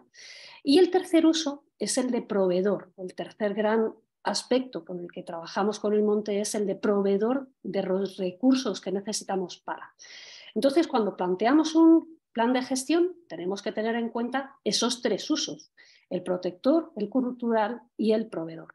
De forma que al fin y al cabo determinemos qué parte vamos a conservar para poder generar esos servicios de protección y culturales y qué parte se van a aprovechar para poder generar materias primas para. Materias primas que no son solamente la madera, son, también, por ejemplo, la caza, la pesca, es también las setas, es una gran cantidad de recursos que se pueden ser vinculados a la madera o no, que vamos a aprovechar y que en un ámbito vinculado con la bioeconomía cada vez es mayor. Entonces, en esa gestión nosotros tendremos que decir qué es lo que hay, qué podemos hacer, qué usos se, especifican y cómo vamos a generar riqueza a través de él. Si nosotros tenemos esa gestión forestal, en este caso, elaborada de una manera clara, pues podemos gestionarlo adecuadamente, obviamente. ¿Cuál es el problema? Siempre hay un problema. Bueno, la gestión forestal aquí en España está regulada. Nosotros tenemos que regular los montes, perdón, tenemos que planificar lo que vamos a hacer en el monte eh, y plasmarlo en lo que se llaman los planes de ordenación o de gestión forestal. El problema es que si somos el tercer país con mayor superficie forestal en Europa, no somos el mayor país con planes de ordenación hechos. Es decir, nuestra superficie forestal no está ordenada al 100%. ¿Por qué? Pues porque la estructura que tenemos eh, de propiedad en nuestros montes pues no lo permite, porque son planes que son, requieren coste y entonces, bueno, pues como estamos hablando de montes que en muchos casos están en manos privadas, que son pequeños minifundios, pues no generan la riqueza necesaria o suficiente como para aprovecharlo adecuadamente. Pero necesitamos ese plan que nos ordene qué es lo que podemos hacer, qué es lo que vamos a hacer con ese monte, de manera que podamos protegerlo adecuadamente. No obstante, cuando nosotros hacemos ese plan de ordenación, eh, lo que estamos haciendo es gestionar de manera sostenible el monte. Y una gestión de manera sostenible es una gestión que tiene en cuenta pues, los tres pilares de la sostenibilidad que desde 1987 empezamos a hablar, pues, que tiene que haber un desarrollo económico, ambiental y, social. Pues esto se lleva hablando en la ciencia forestal desde tiempos, iba a decir casi inmemoriales, pero bueno, desde hace mucho más tiempo que 1987. Cuando hablamos de un plan de ordenación que genera una gestión forestal sostenible, lo que estamos haciendo precisamente es adaptar las necesidades de eh, las personas, de la sociedad, a esos ecosistemas forestales, a un marco jurídico, a un marco administrativo, a un contexto sociocultural y a otra serie de factores locales como pueda ser pues, esa parte de despoblación que tenemos que repoblar en un momento determinado. Entonces, a cuento corto, eh, cuando hablamos... Carmen, un momentito, solo comunicarte que te quedan dos minutos, ¿vale? Para que te organices el tiempo. Muchas gracias. lanzo el último mensaje.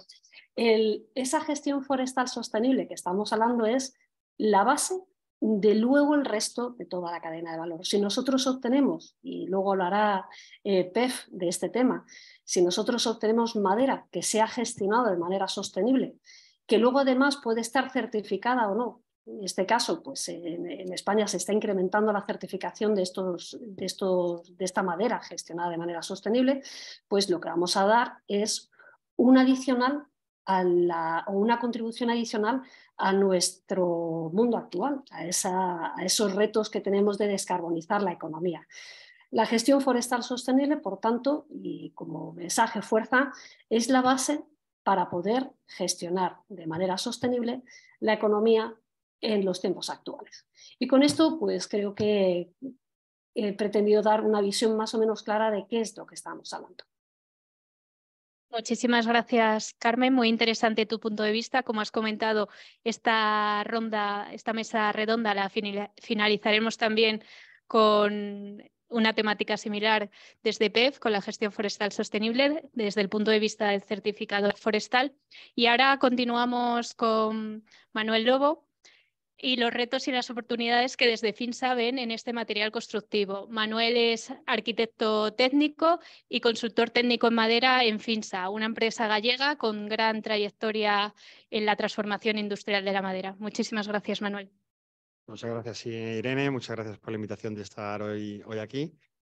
Y la verdad, cuando me plantearon estar aquí en esta mesa y hablar de la perspectiva fabricante en medio de toda la cadena que estamos pues, hablando de la gestión forestal hasta cliente final, como puede ser un promotor inmobiliario, decía, bueno, aquí como fabricantes estamos en medio de todos sitios, porque al final nosotros, utilizamos ese recurso natural que es, que es la madera, donde en función del proceso que tengas que realizar, necesitas un tipo de madera o de otro, pues para fabricar un tablero aglomerado nos vale mucho reciclado. Tenemos fábricas que usan el 90% reciclado. Pero, por ejemplo, para la última fábrica que hemos abierto, que es Silonor, que es una fábrica de, de madera contralaminada que, que tanto se ha hablado antes, Además, yo creo que además nos gusta decir la primera fábrica industrializada. Había otros fabricantes en España, pero más pequeñitos. Ahora la, nuestra fue la primera, que lleva dos años. Egoin abre ahora también otra fábrica muy interesante en este año. Hay otro proyecto en Teruel, hablando también de capacidad productiva que, se comentaba antes de que hay instalado en España. eh, y al final necesitas un recurso natural diferente para cada, cada uso. Mm, en fin, se empezó con un aserradero, donde empezamos a hacer material para envase, tenemos material para jardinería, para fachadas, eh, los productos que se han ido haciendo poco a poco, y al final estás en medio, porque luego te encuentras con el mercado, te encuentras con los, arquitectos, te encuentras con los promotores, a los que tienes que convencer del uso de la madera. Ya que estamos centrando en el uso de la madera en estructuras, nos toca ver de qué forma logramos introducir ese producto que queremos fabricar en, el sector. Y la verdad es que, es complicado. Antes hablaban de, los retos que hay por delante y son retos que nos encontramos día a día porque eh, al final lo que decía, cuando abrimos la fábrica, es una fábrica, pues comparados con los monstruos que hay en Centro Europa, la nuestra es pequeñita. Hay fabricantes de Centro Europa que tienen capacidades brutales para hacer CLT, la nuestra es, es pequeñita, pero ya en su día cuando la planificamos vimos, bueno, si es que la nuestra ya, si con la demanda que hay de CLT en ese momento, la cubrimos de sobra y sabemos que hay fabricantes centroeuropeos que están. Con lo cual fue una apuesta eh, bastante arriesgada de montar una fábrica de paneles de madera contralaminada cuando no había nada así en España, cuando nosotros tampoco venimos del sector de la madera estructural. Sí, tenemos mucha experiencia industrial, pero nos faltaba ese know-how quizá en, trabajar la madera estructural y nos arriesgamos a hacerla y está ahí funcionando y buscando dónde están esos proyectos. Todo eso que hablamos de futuro, que vamos a construir muchísimo con madera, que vamos a descarbonizar, vamos a construir mucho, aún por desgracia no es una realidad hay que pelear todos los días porque hay un proyecto con madera, porque se haga con madera, porque al final cuando hablas con un arquitecto que tiene un cliente con o hablas con un promotor, te dice, no, es que claro, el Excel no me entra. Dices, vale, entonces ya no estamos hablando de que vamos a descarbonizar, que vamos a hacer sostenibilidad, cuando al final todo se reduce al Excel del, del coste directo y no se analiza de una manera holística el proyecto en su conjunto porque eso al final te va a limitar y va a hacer que proyectos empresariales, en el que comentaba Carmen Avilés en Cuenca, ese proyecto que salía de ese, proyecto, está muy bien, en, Cuenca hay recurso natural, tiene un, pino que es estupendo, que puedes apto para fabricar CLT, dices, montar una fábrica hay que invertir. Y para invertir, alguien o tienes detrás al mercado, como puede ser otros fabricantes, que dicen, bueno, soy promotor, tengo el constructor, me monto una fábrica para mí, tengo parte del mercado, aunque tenga que salir fuera a buscarlo, pero en nuestro caso somos empresa industrial pura y dura del sector forestal. Cuando vamos a lanzar un producto al mercado, tenemos que ver que hay agua a la piscina, que hay una demanda detrás. Si no, al final, si montamos la fábrica, se montan más fábricas, si no llega esa demanda, si no llegan esos proyectos para hacerlos con madera, que luego ya nos pegaremos un fabricante con otro, que eso, sinceramente, ahora nos da un poco igual, ahora que queremos que haya proyectos. Eh, si no hay esos proyectos, al final pasarán dos, tres, cuatro, cinco años eh, y al final alguien decidirá, oye, mira, esta inversión no es rentable, no veo rentabilizada a medio o largo plazo, vamos a tener que cerrarla. Y sería una lástima que porque al final lo que cuenta es el este, lo que cuenta es eso y que los criterios de sostenibilidad queden muy bonitos, ahora todos somos verdes, todos somos sostenibles, ahora hay hormigones verdes, hay aceros verdes, eh, todos somos sostenibles, eh, verdes, ecológicos, pero la realidad es la, que es. Y un producto, como decía Irene, que es el único que es renovable, porque es el único material de construcción que ahora mismo es renovable, pues sí, todos son reciclables, te dicen que son estupendos, que todo viene de material reciclado, pero la realidad es que la única materia prima que tenemos para construir ahora mismo, que es renovable, que podemos, con una gestión forestal adecuada eh, de nuestros montes, podemos tener material para construir de forma prácticamente ilimitada, es la madera. Pero si al final el mercado no acompaña, va a ser muy complicado que iniciativas empresariales puedan surgir para decir, oye, vamos a construir más con madera, vamos a hacer Madrid Nuevo con, madera. No hay, no hay, capacidad productiva y esa es la realidad. hace un par de semanas en Reville, en la charla en la que estaba, eh, un arquitecto decía, ¿vale? si es que en España hay 35 cementeras. Hay tres fábricas de CLT. Hay dos, tres fábricas que te pueden hacer entramado de madera de más forma industrializada, digamos, con cierta capacidad. Si de repente, porque eh, alguien se vuelve loco y dice, a partir de ahora solo se construye con madera, sería imposible. Podemos tener recurso natural eh, sin gestionar. Aunque podamos, vayamos por los montes, veamos muchos árboles por ahí, no toda la madera va a servir, no tenemos capacidad industrial. Pero tenemos que trabajar todos para que esa capacidad, esa demanda eh, se incremente porque la industria estamos preparada. Eh, nosotros cuando en FINSA se decidido hacer el proyecto de Silonor, eh, fue en, plan startup, fue en plan decir, oye, eh, creemos que es una apuesta de futuro, sabemos que todavía hay ese mercado, que va a llegar y vamos a montar una planta para aprender, para ponerla en marcha, pensando en que pueda haber cuatro o cinco fábricas o las que el mercado necesite en un futuro. Ahora mismo yo no lo veo que haya que montar muchas más fábricas porque no hay ese mercado. Montar, hacer una inversión, en nuestro caso fue unos 15 millones de euros, para que al final estés dos, tres años, me, seguir, metiendo dinero y que no, al final no, haya rentabilidad, al final no va a servir para nada. Entonces, tenemos que seguir trabajando en, conectar las cadenas de valor, en conectar los diferentes eslabones de la cadena, porque al final fabricantes no es una única cadena. En el proceso de transformación de la madera hay muchos eslabones diferentes. Está desde la primera transformación, donde también eh, decir, hace falta relevo generacional. Son empresas que no tienen mucha innovación, que vienen trabajando de manera casi artesanal, pues vendiendo para lo que vendían, pues mucha, mucho palé, mucho envase, pero necesitamos madera de calidad, necesitamos también esa, ese aserradero que dé eh, madera, que pueda transformar esa madera, ese, tronco pueda transformarlo en, tabla de madera que sea de calidad, que la pueda clasificar, pueda tener buena calidad para diferentes usos que necesitamos en construcción, para el tema de fachadas, para el tema de, de estructuras. Y tenemos que seguir transformando en eso, en que haya más industria y segunda transformación, y que haya esa demanda que pueda tirar de ello, porque estoy seguro que si hay esa demanda, eh, la industria, el, sector privado va a responder y va a, hacer, va a tener iniciativas empresariales encima de la mesa para, para atenderla. Al final, como todo negocio, hablaba en la segunda presentación del primer bloque, hablaba que hay una, una potencialidad de negocio detrás. Cuando hay una potencialidad de negocio, va a haber gente que quiere invertir quiere hacerlo. Pero si no, si no llegamos si a, a ese final, esa demanda de productos, si no está ahí, va a ser muy difícil ponerla en marcha. Entonces, eh, yo poco más que añadir para no pasarme el tiempo, dejar. Ah, me quedan dos minutos. Bueno, pues. ¿Tú si no me con el...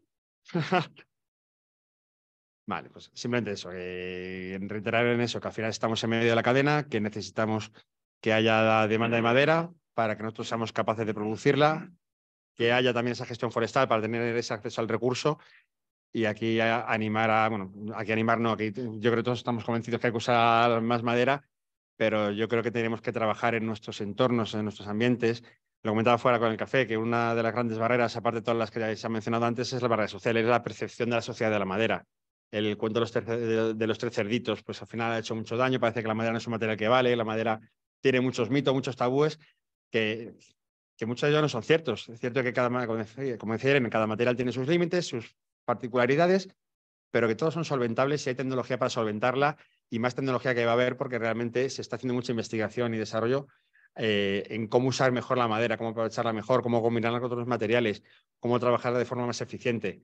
Pero de, nada servirá si al final no hay esa demanda que nos tire de, ella para que al final esa, industria en la que estamos eh, finsa con otros, con otros agentes podamos coger y atenderla. Muchísimas gracias, Manuel. Súper necesaria estas últimas conclusiones que has hecho. A todo el mundo nos gusta estar en un sitio con madera y tocarla, pero luego no nos fiamos. Entonces, bueno, eso poco a poco lo tenemos que ir trabajando entre todos. Y bueno, ahora pasamos de la fábrica, porque es fundamental tener a alguien que coge ese tronco y nos lo transforma y nos da soluciones, al arquitecto, al diseño. Para eso tenemos hoy aquí a Iñaki Alonso, arquitecto y consejero delegado del estudio de arquitectura SAT y fundador de la promotora Impacto Distrito Natural, dedicada al desarrollo de nuevos proyectos de convivencia ecológica. Muchísimas gracias, Iñaki. Muchas gracias, es un placer, buenos días, poder estar con todos vosotros y vosotras. Es cierto, yo creo que la mayor barrera es mental y cultural, ¿no? Eh, eh, mucho más que la económica, que hablábamos mucho de la económica, yo voy a insistir que es económico y es más económico trabajar con madera, pero la más, la más compleja es la, la, mental, ¿no? Y ahí tenemos, bueno, pues lo que se llama el uh, cambio de paradigma, el cambio de, de, mentalidad y, bueno, intentar mirar las cosas desde otro lugar. Yo soy arquitecto y empecé con un estudio de arquitectura, SAT, que, bueno, llevo 20 años trabajando con madera. En los primeros 15 eh, trabajamos mucho en, en, pequeña escala, en vivienda unifamiliar, ¿no? más en la estructura vertical con muro de carga, con termarcilla, con cerámica y en la estructura horizontal con, con madera. Pero hace unos años decidimos hacer una cierta transformación porque al final la vivienda unifamiliar tampoco es el modelo ni la tipología más sostenible y más ecológica, sino que el mayor problema lo tenemos en las ciudades y en las ciudades a través de la vivienda colectiva es donde tenemos que introducir las viviendas ecológicas. Arranqué como arquitecto y monté un estudio de arquitectura, pero por el camino me he ido reconvirtiendo pues, en consultor, que es esto de ecómetro. ¿Por qué? Porque al final llegaba un momento que decíamos, no, hacemos casas ecológicas. Y dijimos, pero ¿qué es esto de la ecología? Las cosas no son o dejan de ser, o las medimos y sabemos exactamente cuáles son sus impactos entonces ya empezamos a decir que participamos de la ecología en mayor o menor medida en función de la cantidad de emisiones de CO2 o de otros temas como eh, bueno, pues, eh, acidificación, capa de ozono, ¿no? Hablamos mucho de carbono porque bueno, pues es, al final es el impacto estrella, pero nuestra relación con el medio ambiente es bastante compleja, eh, la sostenibilidad es muy compleja y hay muchos otros factores que influyen en mm, nuestra acción de construir, ¿no? la pérdida de biodiversidad y todo lo que son las categorías de impacto del análisis de ciclo de vida. ¿no? Entonces, a través de Ecómetro eh, y la consultoría, pues analizamos eh, los impactos desarrollados. Y bueno, y luego al final nos hemos convertido también en promotores, porque bueno, tampoco encontrábamos promotores, no es fácil eh, convencer para promover desde, este, desde esta perspectiva. Entonces, por el camino nos hemos hecho promotores también. Cuando hablamos de madera, a mí no me gusta, eh, tenemos una cierta tendencia al reduccionismo, determinismo, y es parte también de nuestra cultura y de nuestra trayectoria, a aislar los temas y afrontarlos desde un lugar, nada más, ¿no? Y bueno, pues nos juntamos solo para hablar de madera. Cuando hablamos de carbono, hablamos solo de carbono. Y nosotros intentamos afrontar las cosas desde una perspectiva un poquito más sistémica, más compleja, y no es solo una cosa, sino que son muchas cosas. ¿no? Para afrontar el carbono, primero tienes que bajar eh, las demandas, hacer que los edificios gasten lo mínimo posible. En segundo lugar, que no haya ningún elemento de combustión, eh, producir, electrificar los edificios. Todo eso en la parte más tangible, es decir, en, lo que nosotros llamamos el, hardware, es decir, el edificio. ¿no? Y luego, obviamente, incorporar la parte de materiales eh, que tengan el mínimo impacto.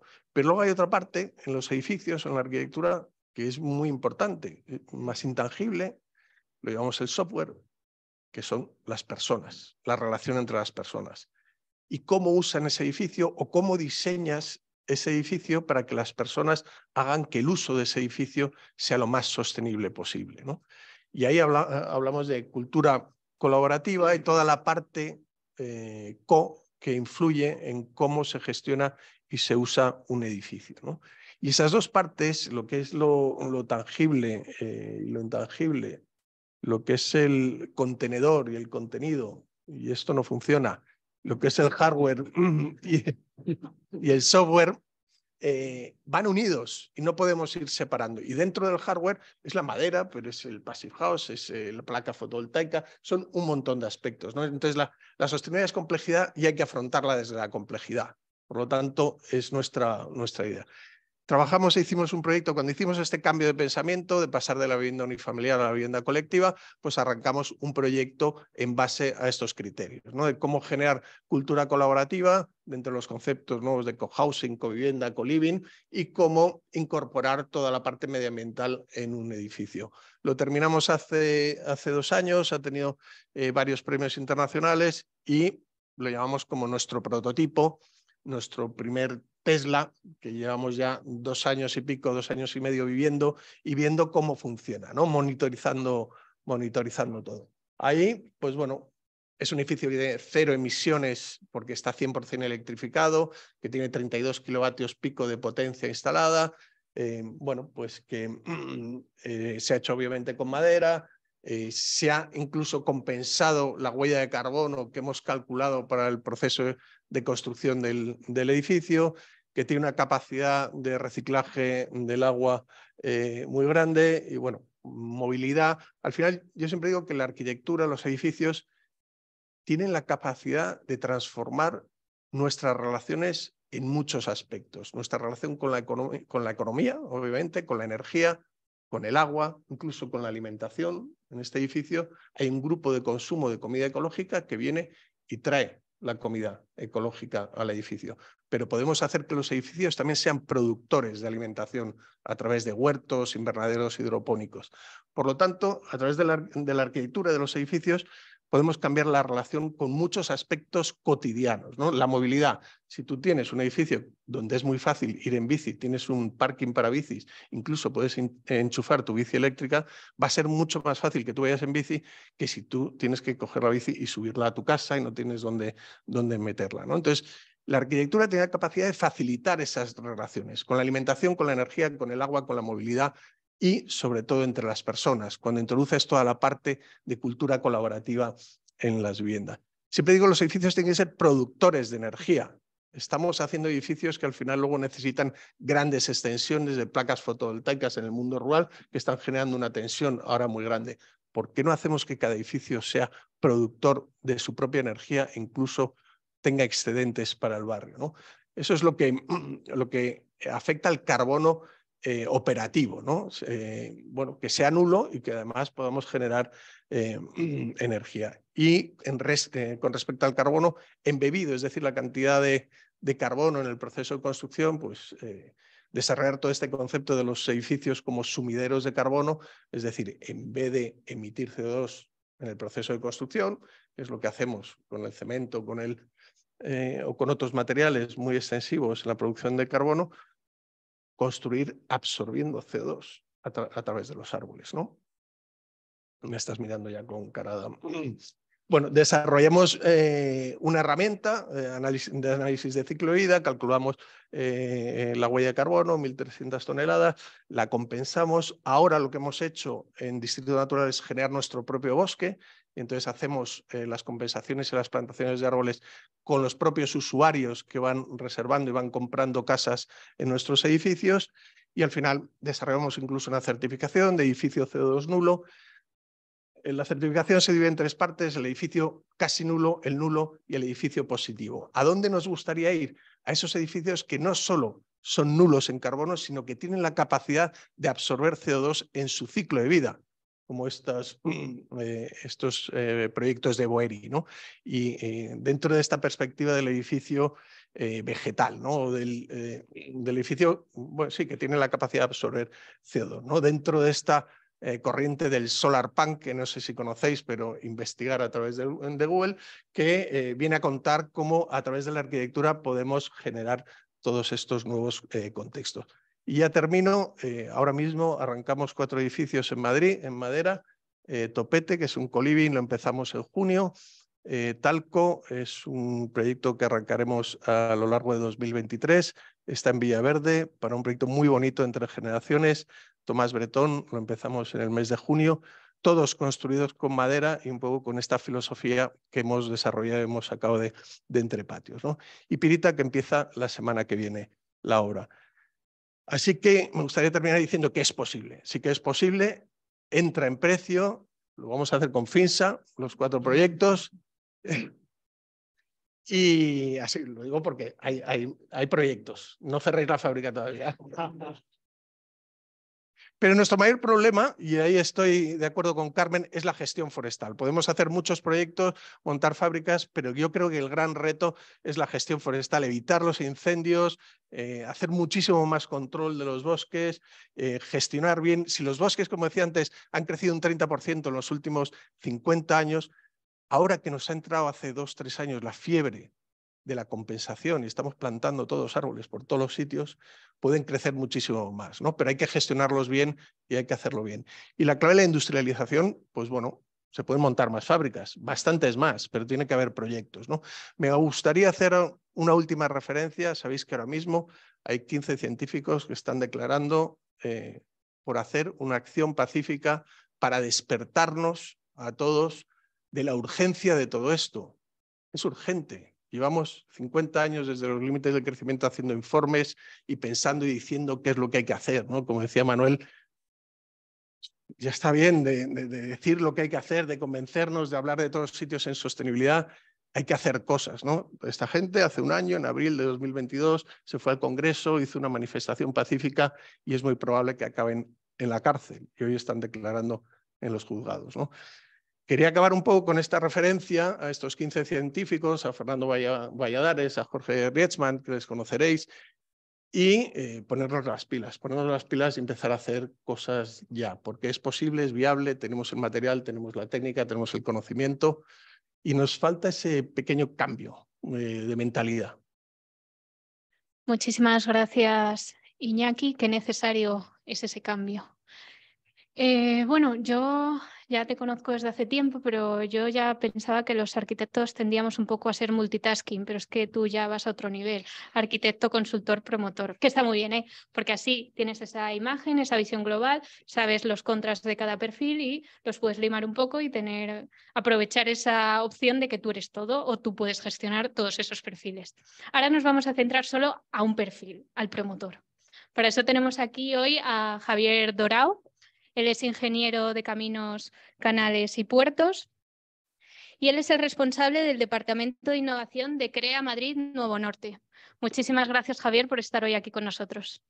Muchísimas gracias y, bueno, por invitarnos y poder presentar todos los resultados que hemos visto en la sesión anterior, que, se ha centrado un poco en el caso de estudio de Madrid Nuevo Norte.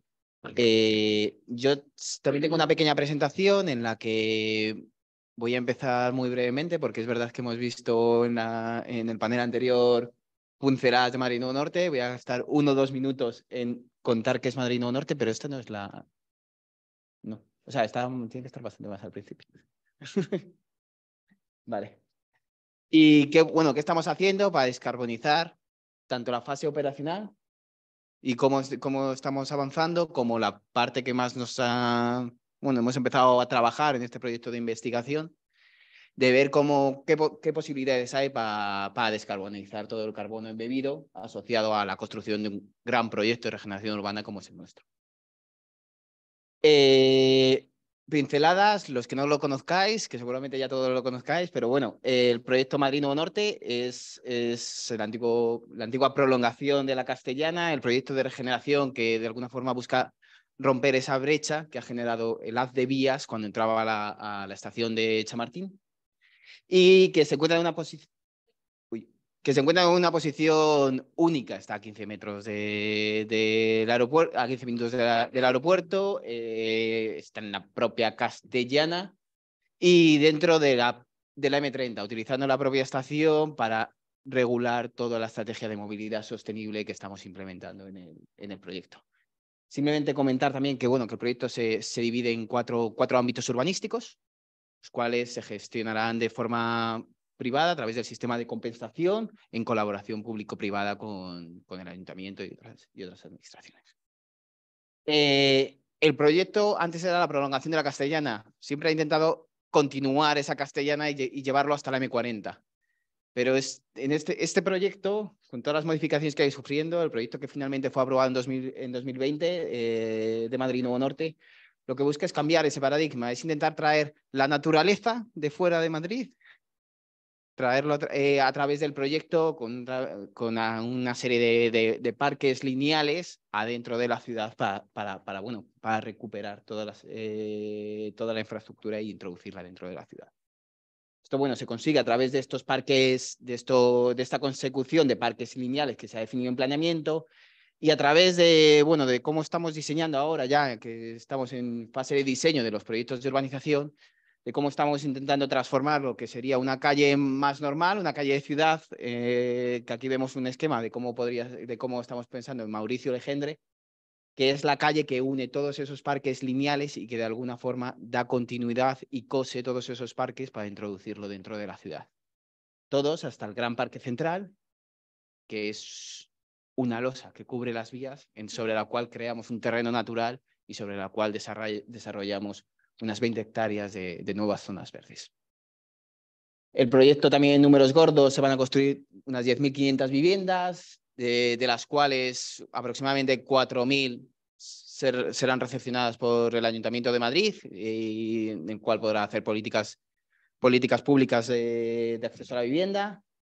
Eh, también se crea un gran centro de negocios, principalmente dentro de la M30, dando continuidad a la castellana y al nuevo eh, desarrollo de las cuatro torres, que también de alguna forma se une y se, y se convierte en un, en, un, distrito financiero conectado. Y, todo esto combinado con un comercio de cercanía a nivel de calle. prácticamente las limitaciones que se han establecido es que los bajos, sobre todo centrados en la calle principal, que es la calle de Agustín de Fuxá, eh, eh, los bajos, las primeras plantas sean sean comerciales para dar esa actividad 24 horas que incluirá, bueno, a tener esas 10.500 viviendas integradas con un modelo financiero, entendemos que, va a permitir la actividad. Y ya empieza a saltar un poco a, a, lo, por lo que estamos aquí hoy.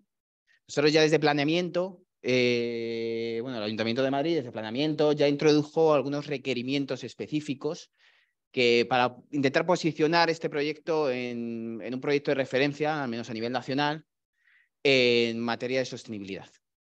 Y entre otras cosas, todos estos requerimientos específicos que tiene nuestro proyecto, pues por ejemplo, hablas de Passive House. Nosotros tenemos la, bueno, todos los edificios residenciales que se construyan en Madrid Norte tienen que cumplir con capacidad y hermeticidad de los estándares de Passive House. Tenemos que reducir lo que ya se considera consumo de energía, eh, los, los, edificios de consumo nulo, pues nosotros tenemos unas limitaciones adicionales sobre, sobre esos consumo de energía primario, el consumo de energía primario no renovable, que deberán cumplir todos nuestros edificios. Todas estas políticas, eh, y también de transporte sostenible principalmente, nos hacen bueno, que un proyecto como el nuestro, un desarrollo nuevo que ya genera pocas emisiones en fase operacional, eh, eh, debido a eso, pues que son edificios de consumo casi nulo, reducía aproximadamente un 20% las emisiones esperadas gracias a, este planeamiento específico que tenemos. pero, por supuesto, eso fue lo que se introdujo en 2020 en planeamiento y seguimos trabajando para ir mucho más allá. Eh, algunos resultados que hemos dado continuidad al proyecto EU5 que, ha comentado, que se ha comentado en el anterior panel. Bueno, nosotros, una vez que ya entendíamos más o menos cuál era esa demanda de madera, dijimos, bueno, vamos a ver cómo afecta a nuestros proyectos, vamos a ver, meternos ya más en diferentes modelos de la edificación de Madrid Nuevo Norte para entender cómo se pueden desarrollar. y generamos tres escenarios un escenario que lo llamamos básico, que es un escenario de referencia, que es cómo se construyen los edificios actualmente. Un escenario sostenible en el que utilizamos hormigón reciclado, eh, acero, acero reciclado y bueno, algunos, algunos elementos que aún no introducen la madera, que como veremos es la solución más mejor para, para, para descarbonizar la construcción de los edificios. Y un escenario que llamamos regenerativo, que es cuando ya empezamos a introducir esa, esa, madera estructural y sus entramados de madera dentro de la, eh, la, propia edificación. He traído algún número de, de alguno de, los, de, los, de las tipologías que estuvimos, que estuvimos estudiando, porque tal y como ha comentado Celia, seguimos la misma clasificación de clasificarlo en diferentes alturas eh, y en diferentes usos. Y podemos ver igual que en la sesión de antes, teniendo en cuenta solo la parte estructura y, la parte de la fachada del edificio, sin tener en cuenta acabados y demás, cómo esos diferentes escenarios y formas de construir de alguna forma generan un impacto ambiental en la ciudad. Eh, bueno, generan un impacto ambiental. Pasando de unas 500, 500 kilogramos de CO2 por metro cuadrado en los escenarios tradicionales de construcción a día de hoy que se hacen en Madrid, eh, bueno, si somos capaces de utilizar ese hormigón sostenible, ese acero, sostenible con, bueno, con la oferta que existe a, día de hoy en el mercado, también entiendo que las tecnologías evolucionarán y estas cosas se reducirán, aproximadamente, pues eso, te permite reducir un 20% de las emisiones, que ya está bastante bien en el análisis de ciclo de vida, pero que aún no te permite de alguna forma que esos edificios sean regenerativos como lo que estabas planteando. Y solo es la introducción de la madera, la que ya te permite reducir esas emisiones al 50% y de alguna forma compensar o almacenar durante la vida útil de, la estructura de ese edificio todo ese carbono en la propia estructura del edificio. Y de alguna forma retrasar su salida al mercado, su salida a la atmósfera o si las cosas van como se deberían desarrollarse, en el momento que esto se, tenga que regenerar, se entiende que esas emisiones no saldrán a la atmósfera. Pero es verdad que como estábamos viendo y analizando, pues es una cosa que nos han enseñado esta, en la sesión anterior, que a mí me parece súper interesante, es, bueno, pues las tres fábricas, cuál es la capacidad que tienen a, día de hoy de producir eh, CLT y cuál sería la demanda estimada anual de Madrid Norte, que es superior a la que tendrían esas tres fábricas, que son las que desarrollan ahora mismo, se convierte en un reto. O sea, se puede hacer proyectos visionarios como los de Iñaki, y que de alguna forma son puntuales, pero es que tenemos que trabajar todos para que esto se convierta en una forma eh, normal, eh, que sea la forma de construir. Y para eso hay que seguir trabajando y, ser capaces de, hacerlo viable, porque también otro de los números es el momento que ya empiezas a, alcanzar unas, unas, alturas un poquito más considerables. Este escenario de madera o materiales bajas emisiones sí que tiene un, un impacto, un incremento en el Excel del promotor urbanístico, en esos costes iniciales, que de alguna forma tenemos que ser capaces de encajar demanda, oferta y precios para que, para que de verdad el, el, sector se transforme, que si no van a ser iniciativas y puntuales y va a costar. en, los en el modelo que Luego en el debate vemos eso, que termine ya Javier y en el debate empezamos con el precio. Analizando con base de datos de FIPE, que también hemos tenido bastantes dificultades para encontrar bases de datos. Y Muy bien. Pero bueno, al final nosotros lo que estamos es intentando dar la visión, la visión general. Estamos trabajando con el Ayuntamiento de Madrid muchísimo en que este proyecto sea un proyecto de referencia, un proyecto de referencia en materia climática y no solo a nivel nacional, sino a nivel internacional. Entonces, bueno, el, año, eh, el mes pasado se, se, aprobó en Junta de Gobierno la declaración del Centro de Negocios, que es la parte dentro del M30 de Madrid Nuevo Norte, como un área demostrada de acción climática, en el cual se, se, se, aprobó un plan de acción de forma inicial, que ahora mismo está en información pública, y que ya establece unas emisiones que te permite reducir respecto a ese escenario ya inicial nuestro que que generamos menos emisiones de lo normal, unas emisiones adicionales de un 70% que principalmente son los vehículos que acaban moviéndose por Madrid y que llegan a nuestro ámbito, que es un poco difícil al final cambiar la movilidad total de, de, la ciudad en un proyecto eh, acotado. Eh, y en el que se establecen pues, iniciativas como puede ser la electrificación de toda la demanda térmica, incluso eh, intentar fomentar la, generación de redes de distrito de frío y calor, o el transporte público cero emisiones, o el uso de agua regenerada en parcela privada. Muchísimas gracias, Javier.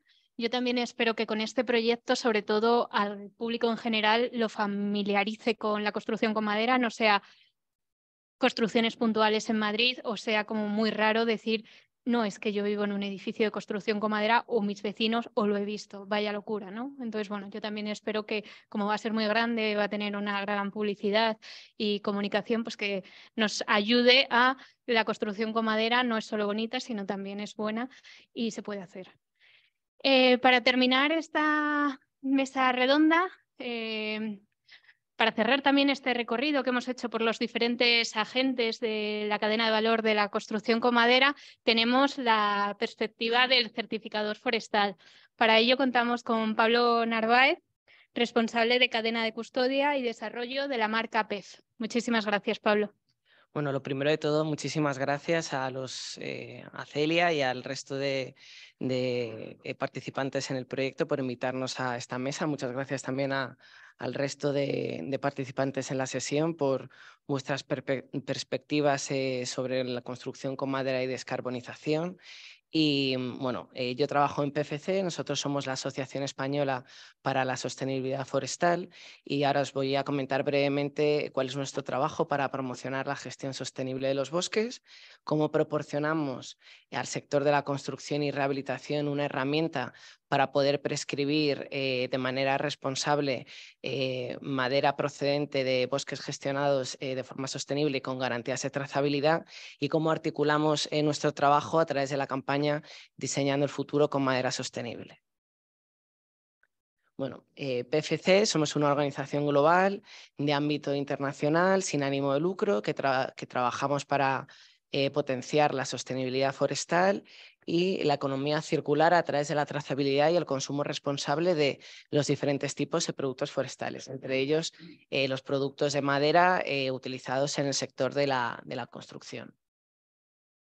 Tenemos una herramienta, un mecanismo que es la certificación PFC que da las garantías y permite identificar aquellos productos eh, procedentes de bosques bien cuidados y de esta forma ofrecemos eh, un, mecanismo para que tanto la sociedad, eh, los ciudadanos y las empresas y las marcas puedan hacer una compra responsable de productos forestales sostenibles. cuesta pasar. Vale. Eh, PCC es una entidad que nace del corazón del monte y en la que eh, participan los diferentes grupos de interés, el sector forestal, desde los propietarios públicos, los propietarios privados, los gestores, silvicultores, la industria, centros tecnológicos, universidades, etcétera. Tenemos un enfoque de abajo arriba. Eso implica que nuestra normativa de gestión forestal sostenible está adaptada a la realidad forestal eh, de nuestro país, pero que al mismo tiempo también permite dar cumplimiento a las grandes regulaciones internacionales, como son los Objetivos de Desarrollo Sostenible 2030 o el Pacto Verde Europeo eh, para, la para la neutralidad climática. De hecho, nuestro trabajo está estrechamente relacionado con los diferentes objetivos de desarrollo sostenible, incluido el número 15, que es el de vida de ecosistemas terrestres, pero luego también el número 11 de, ciudades y comunidades sostenibles, eh, y esto que va, en línea con, nuestro trabajo eh, de promoción de la madera como material de construcción o el objetivo de producción y, consumo responsable de productos forestales sostenibles.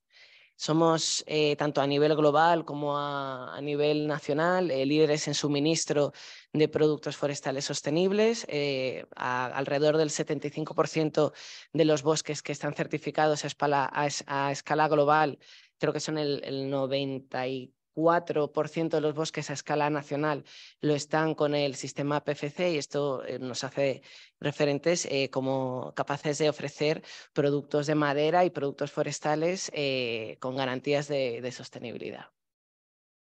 La certificación tiene dos etapas. La primera de ellas es la de gestión forestal sostenible, que no me voy a detener porque bueno, mi compañera Carmen ya ya ha contado antes mucho mejor el, qué es gestión forestal sostenible, qué tipo de criterios se tienen que tener en cuenta. Y luego la siguiente etapa es la de cadena de custodia, que de lo que se trata es de asegurar la trazabilidad de la madera a lo largo de toda la, de la cadena de valor, de tal forma que cuando eh, un promotor inmobiliario o una empresa o un, un ciudadano quiera adquirir eh, productos eh, forestales con garantías de sostenibilidad, confíe en, el, en la certificación PEF eh, como mecanismo para poder asegurar esta trazabilidad hasta llegar a un bosque eh, gestionado de forma sostenible. Y tanto la gestión del, bosque como eh, toda la cadena de suministro están auditados y controlados por una tercera parte independiente que se asegura de que la gestión del bosque y, la trazabilidad de las empresas de la, cadena de valor se ajustan a, a, la normativa de gestión forestal sostenible y de cadena de custodia PEF. También tenemos la modalidad de certificación de proyectos constructivos, que de lo que se trata es de poder verificar de manera independiente eh, que la madera eh, utilizada en un proyecto constructivo en concreto eh, es madera certificada PEF y funciona de manera similar a la, a la cadena de custodia, con la diferencia de que eh, antes de que se inicien los trabajos de construcción, se tiene que determinar bien el sistema de gestión que luego va a permitir trazar la madera en ese proyecto y ya una vez finalizado el proyecto constructivo, eh, la certificadora, la entidad certificadora independiente, es la que verifica el uso de madera certificada en ese proyecto constructivo cuatro pinceladas sobre números. Eh, creo que hay 288 millones de hectáreas de bosques certificados a nivel global, eh, gestionadas por más de un millón de selvicultores. Eh, están presentes en 55 países y eh, suministran madera y otros recursos forestales a más de 20.000 empresas certificadas en cadena de custodia, que son los que ponen en los mercados productos de madera, de papel, de cartón, de corcho, de resinas, etcétera, con, con certificación PFC.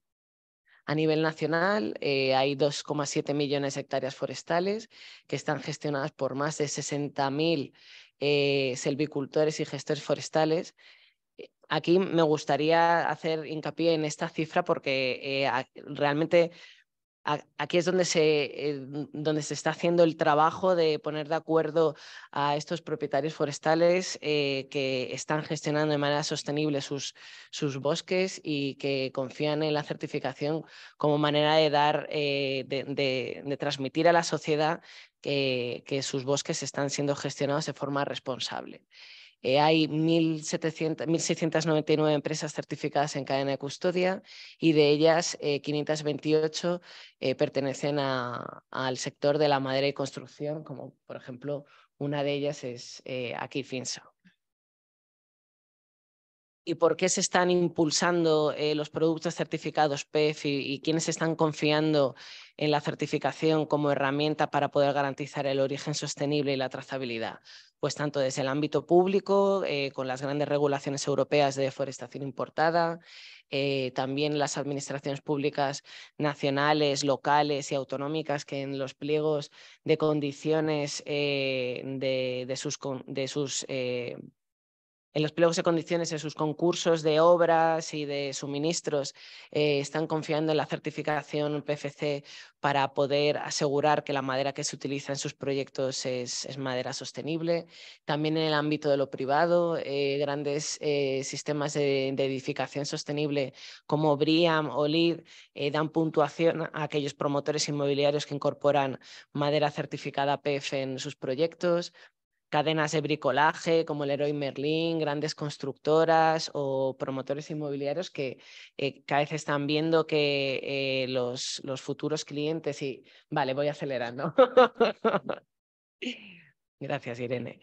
Y mm, bueno, podemos encontrar productos certificados PEF en el mercado eh, con la etiqueta PEF eh, que estáis viendo en la parte derecha de la, diapositiva, pero luego también podemos ver eh, grandes proyectos constructivos donde se está utilizando de manera estructural madera certificada PEF, como este proyecto en, en Pamplona que está impulsando Nasubinsa con el gobierno de Navarra, con de cuatro alturas y 39 viviendas públicas en alquiler, o esta biblioteca Gabriel García Márquez en, el municipio de la ciudad de, Barcelona, que está diseñado por el estudio de Suma Arquitectura, o esta, mm, este proyecto que es emblema, este proyecto que es, está diseñado por el estudio Lab, que ha, sido, ha ganado el premio PEFA Mejor Proyecto Constructivo en el marco del WAF, del Festival Internacional de Arquitectura, y que es emblema de nuestra campaña Diseñando el Futuro con Madera Sostenible, en el marco de la cual estamos eh, animando al sector de la prescripción a que confíe en los productos de madera, eh, porque esto les va a ayudar a avanzar eh, en los modelos de descarbonización, alcanzar la neutralidad climática, la bioeconomía circular y a generar un impacto positivo tanto en la sociedad como en el planeta.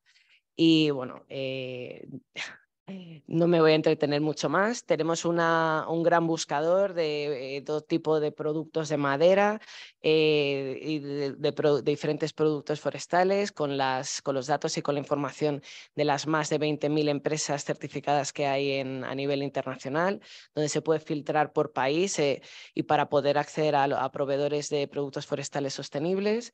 Y mm, bueno, estos son mis datos de contacto y cualquier consulta o duda que tengáis estaremos encantados de Muchas gracias. Muchísimas gracias, Pablo. Eh, bueno, enhorabuena a todos por vuestras presentaciones. Eh, la verdad que es un gusto tener perfiles tan variados pero tan necesarios en esta cadena de valor. El bosque, la transformación en fábrica, el arquitecto y el promotor que quiera utilizar la madera como material constructivo y apoyar, volviendo al inicio, esa descarbonización del sector de la construcción y reequilibrio territorial.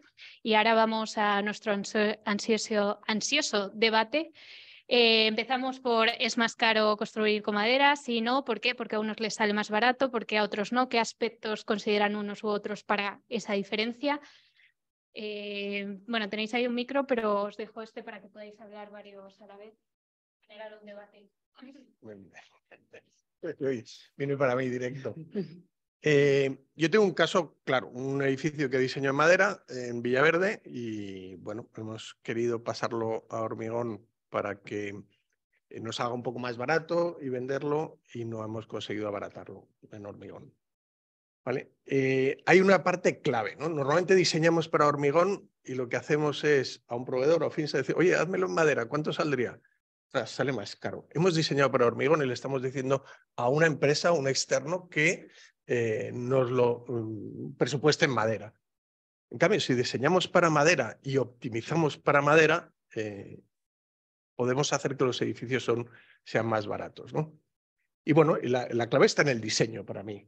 ¿vale? Y eso, si queremos mirar la economía desde una perspectiva, para mí, del antiguo paradigma, que solo mida euros, ¿no? Porque si incorporamos lo que hoy en día se llama todas las externalidades, es decir, los efectos del cambio climático, de las emisiones de CO2, lo queremos incorporar en el precio, y muchas otras cosas que habría que incorporar, ¿no? Fiscalidad. ¿Por qué no tenemos una fiscalidad todavía o, o impuestos del IVA o cualquier, o sea, la repercusión de utilizar elementos que están generando un impacto, no la metemos en el precio y simplemente nos vamos a comparar euros con euros. ¿no? Entonces, yo desde mi experiencia profesional y desde eh, nuestra práctica, ahora mismo hemos optimizado muy bien el diseño y tengo la seguridad de decir que los edificios que estamos haciendo en madera están en precio de mercado. No salen más barato. Y luego hay otra parte fundamental también, que es eh, comparar eh, desde una visión global. La madera pesa menos, repercute en una, cimentación eh, más ligera, la madera aísla más, puede repercutir en menos aislamiento. Es decir, si al final vamos a, comparar partida con partida muchas veces, cojo la partida de estructura con la partida de estructura y me olvido eh, de la de cimentaciones, del aislamiento, pues bueno, pero obviamente la comparativa tiene que ser un poquito más compleja, un poco más, más global. Nosotros intentamos sacar mm, eh, proyectos y edificios al mercado y están saliendo a precio de mercado. Estamos vendiendo un piso en Tomás Bretón o un piso en Pirita que está a precio de mercado. Y eh, el precio de construcción está en precio de mercado. Entonces, desde mi experiencia personal, eh, diría que la madera ahora mismo está en mercado. Ahora otra cosa, ¿cuánto ha subido la madera en el último trimestre?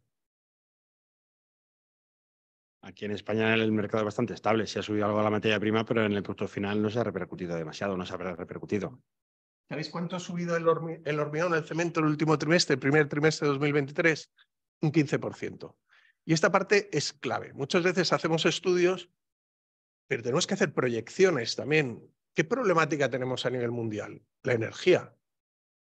La energía, el peak oil, es un problemón.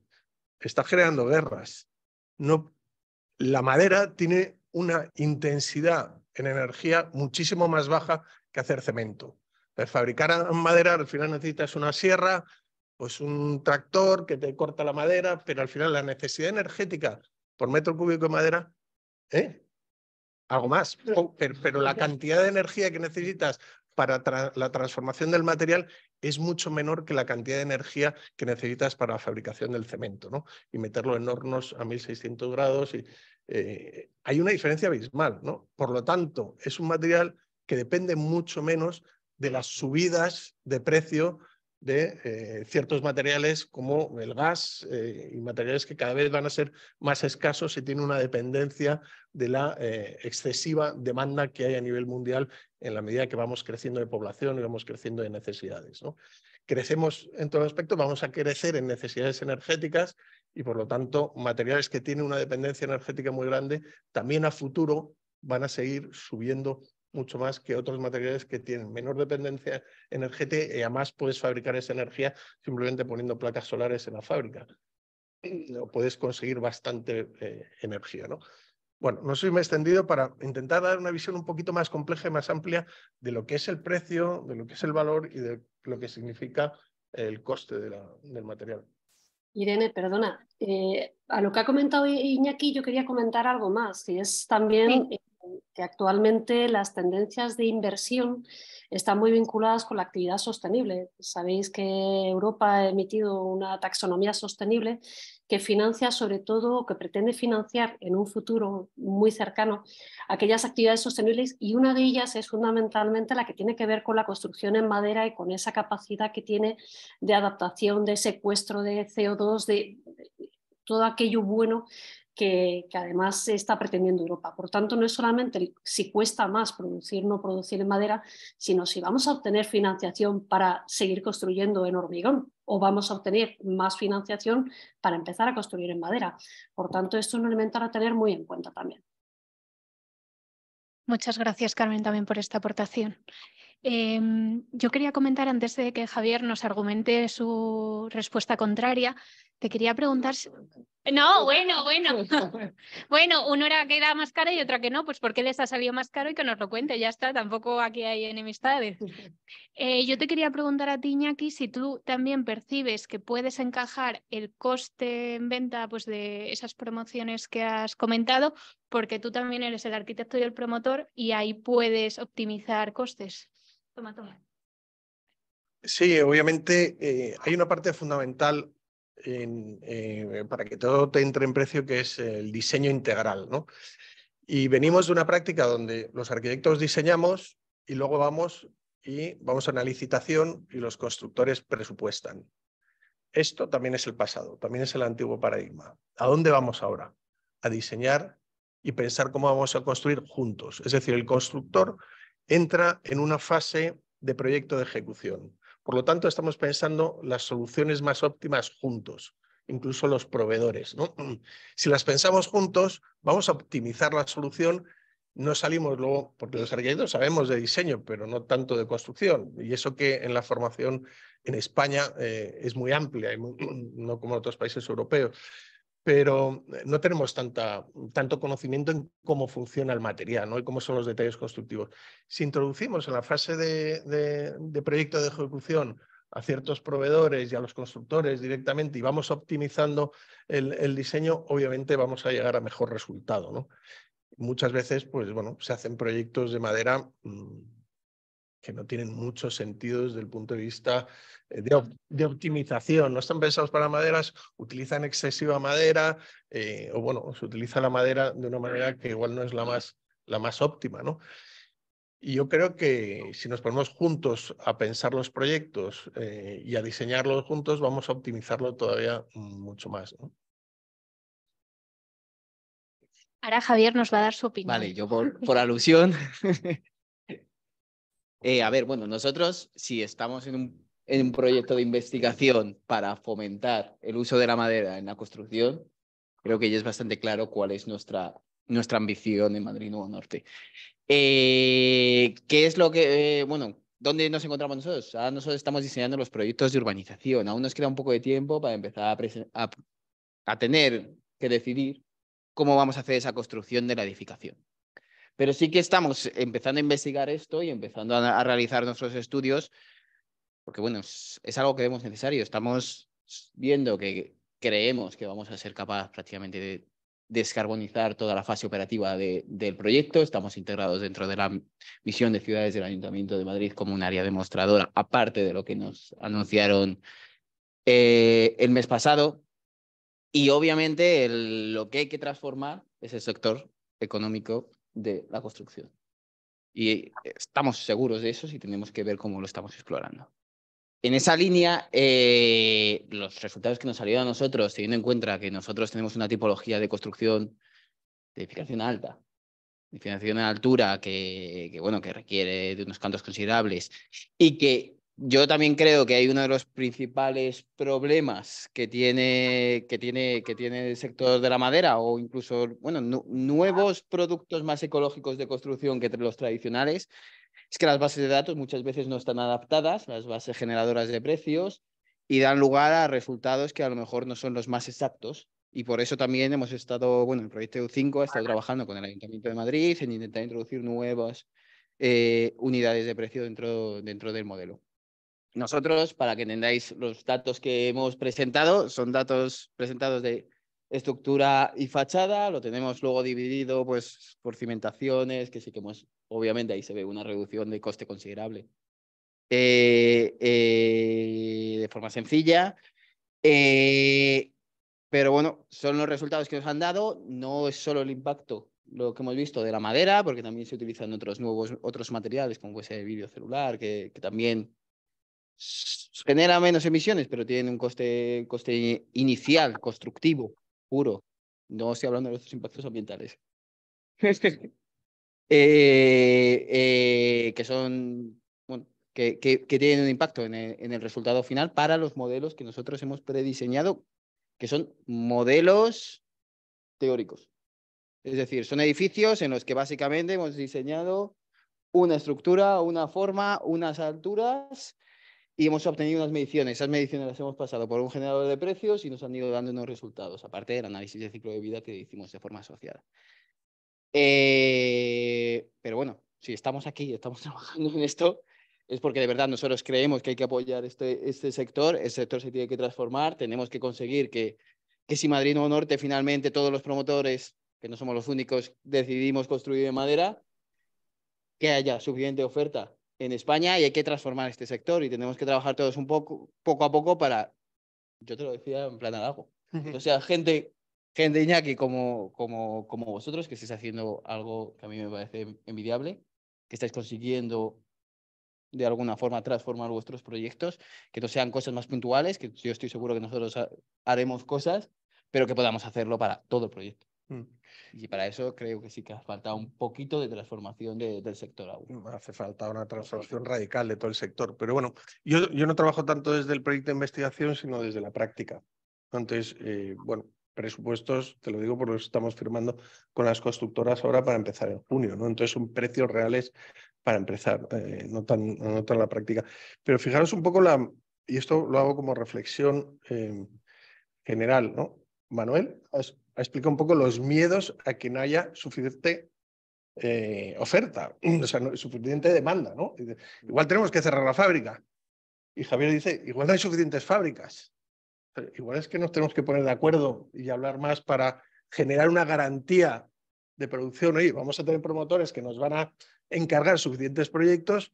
Bueno, pues vamos a ampliar la fábrica, vamos a, a meter en España suficientes fábricas que nos den y hay un cierto miedo que es normal en, la medida que hay una transformación del sector, como tú decías. Necesitamos una transformación radical del sector y estamos todos a ver quién da un pasito, quién abre otra fábrica de, de CLT, entonces podremos encargar más proyectos, por si nos metemos en un proyecto grande como Madrid Nuevo Norte, pues claro, tiene que, tenemos que tener la fábrica de Cuenca, se tiene que montar, la de allí, la de allá, y tenemos que tener suficiente seguridad para que eso entonces, bueno, yo creo que en la medida que nos garanticemos oferta y demanda, iremos avanzando más rápido en el, sector, ¿no?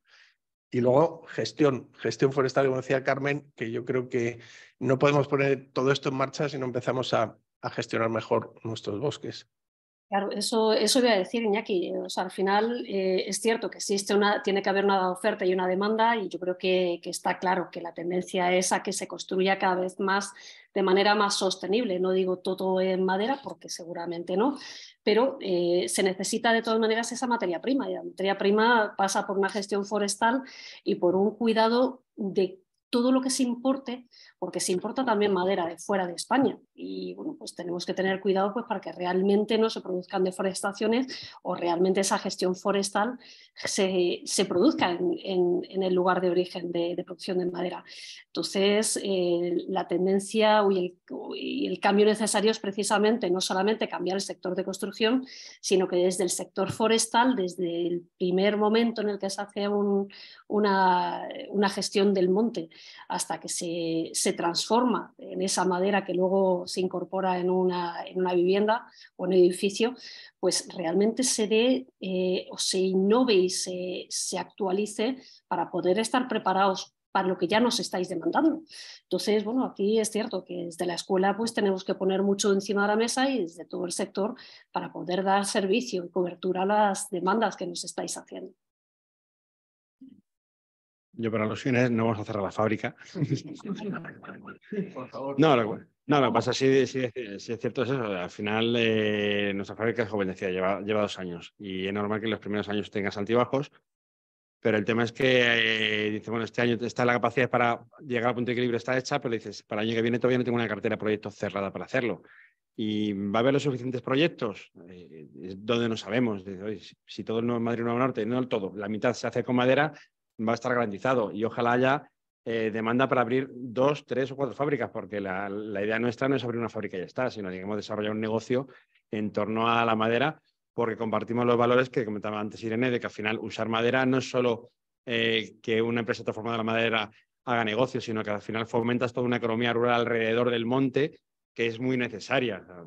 la gestión de la materia prima es fundamental, tiene una serie de valores añadidos eh, que con otro material no lo vamos a tener. Entonces, eh, ojalá y, se hagan muchos proyectos y se hagan mucho más, pero el tema está ahí. Llevamos hablando de construir con madera, pues 5, 6, 7, 8 años. Parece que se va a construir todos los años un montón de proyectos, pero los números de la cantidad de, de, CLT necesario para fabricar o que se monta al final en España son los que son. Y al final dices, bueno, es que al final con las dos fábricas de vainilla nuestra cubrimos de sobra el mercado que hay ahora. Entonces, eh, metros cúbicos, más o menos. Entre, entre las dos, sí, más o menos, sí.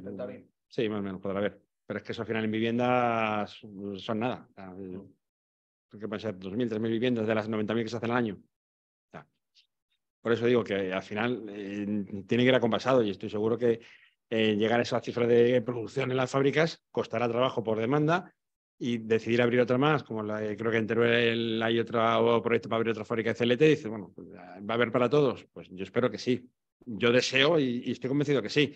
Pero al final los números tienen que salir y si en dos, tres, cuatro años ves que los números no salen, pues al final alguien decidirá esto no es tan buen negocio o a ver qué hacemos luego después.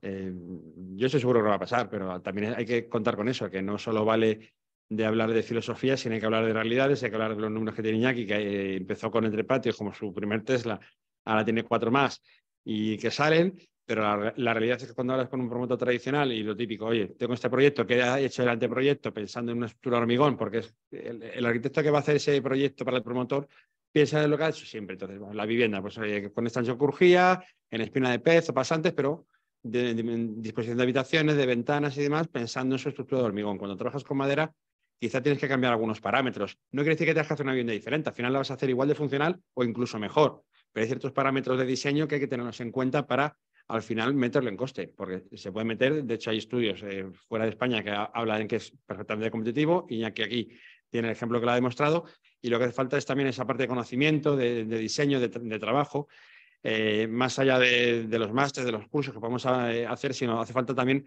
mucha experiencia práctica, decir, bueno, he hecho un proyecto, este me ha salido bien, mal, regular, pues es que si hubiera hecho esto al principio me hubiera salido mejor, el trabajo colaborativo es fundamental, o sea, eh, no vale los sistemas clásicos de licitación de la administración pública y de muchos promotores privados, de, hago, un proyecto, hago de ejecución, además lo hago en tres meses porque me sirve para pedir licencia y ya avancé durante la obra, lo saco a subasta a ver qué me lo hace más barato y luego construyo y a ver qué sale después, no van a funcionar. De hecho, los promotores se quejan de que no les funciona, que acaban, acaban con más plazos, con más costes, con reclamaciones con las constructoras, con ciertas constructoras que acaban en que no pueden afrontar proyectos, porque al final el negocio de la constructora de la que es, es un negocio con pocos márgenes y cuando se va a un, proyecto tenemos auténticos dramas en toda la cadena de valor de la madera y si somos capaces de trabajar desde el principio de la mano de eh, arquitectos, promotores, eh, eh, digamos, empresas montadoras y fabricantes, estoy seguro que el promotor va a tener un precio cierto, que a lo mejor si a priori su le sale un poco más, mm, le, puede salir un poco más, no te lo discutir, sale un poco más. No esas cifras que ponías ahí, yo las cifras que me ha dicho gente que ha hecho estudios serios de promociones pasadas, eso, están hablando en torno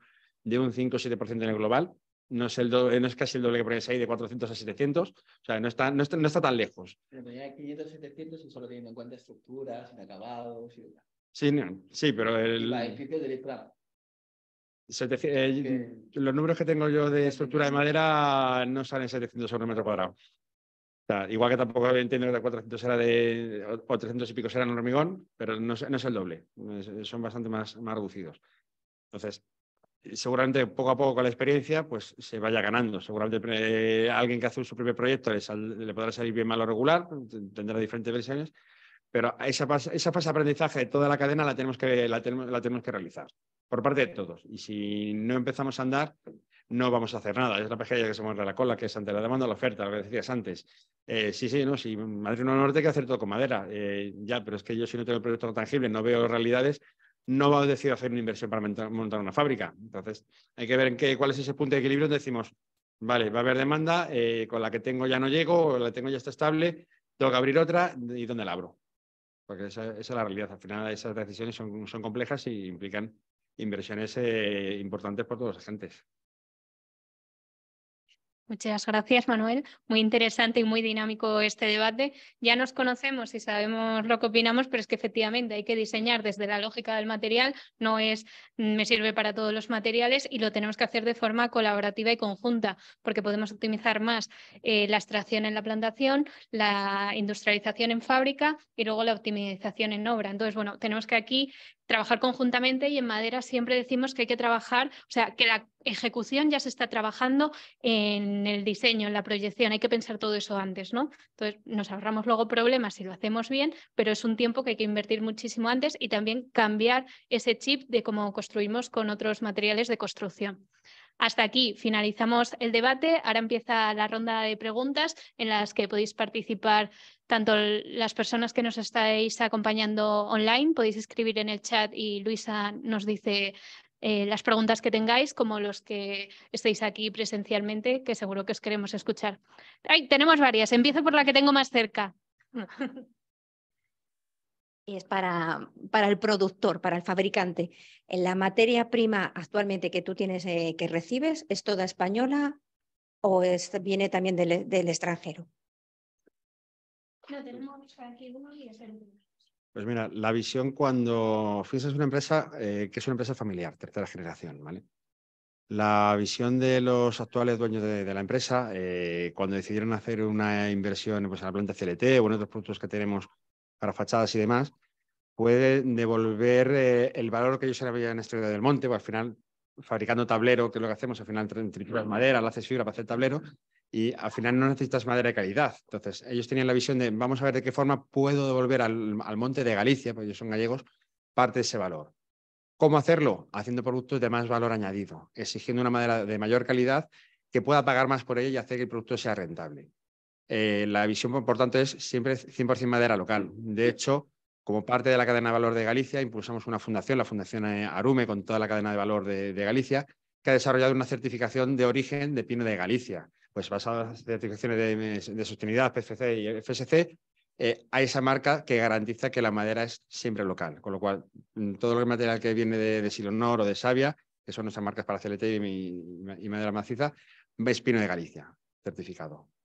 Y entonces, si de aquí a cinco años el proyecto de eh, Castellana Norte va para adelante y te encuentras con que tienes que tener un volumen mayor de madera, vendría del mm, ya no tendría, no podría ser nacional, porque estamos diciendo que los bosques y la gestión y la explotación no está eh, armada o articulada para que pueda producirla. Entonces, la proximidad sería eh, Portugal, Italia, alrededor, Europa, o vendría pues de más lejos. Eso al final hace que no, no sea eco, eco, eco, eco, eco, porque hablaba antes de, del tema de la certificación de los países de la madera que venga de, con otro origen más, más, eh, más lejano, con kilómetros que, tenga que, que, viajar. Sí, a ver, hemos comentado que uno de los problemas es la gestión forestal. Ahora mismo Galicia a nivel de región forestal es de las mayores productoras de madera. Bueno, en España yo creo que es la mayor región productora y a nivel de, superficie forestal es de las regiones más principales a nivel europeo. Cierto que no está todo gestionado, cierto que no toda la madera que hay se podría usar para madera estructural eh, y cierto que hay puede haber un problema a medio y largo plazo si esa madera no se gestiona.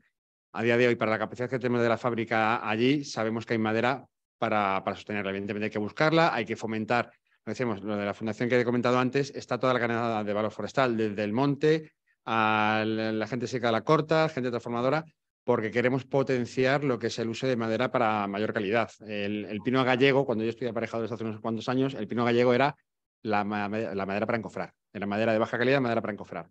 Queremos cambiarlo y queremos hacer que eso cambie y evolucione. Sabemos que hay masas forestales buenas que se pueden aprovechar, que a lo mejor ahora no se están explotando porque también hay un problema de subexplotación del monte, hay parcelas que no se explotan, que al final no se cuidan. Queremos también fomentar que todo ese monte se pueda gestionar, se pueda cuidar y al final, en cierto modo, pueda sacar aprovechamientos forestales el recurso madera así en bruto, yo no creo que sea, corregidme lo que sabéis más, yo no creo que sea un problema el que no haya bosque en España para explotación. Hay un problema de gestión, pero no de, materia prima. Pero eso, según se vaya compasando eh, lo que es la demanda de madera con la, con la demanda que vamos a tener de bosque, yo creo que al final va a salir adelante.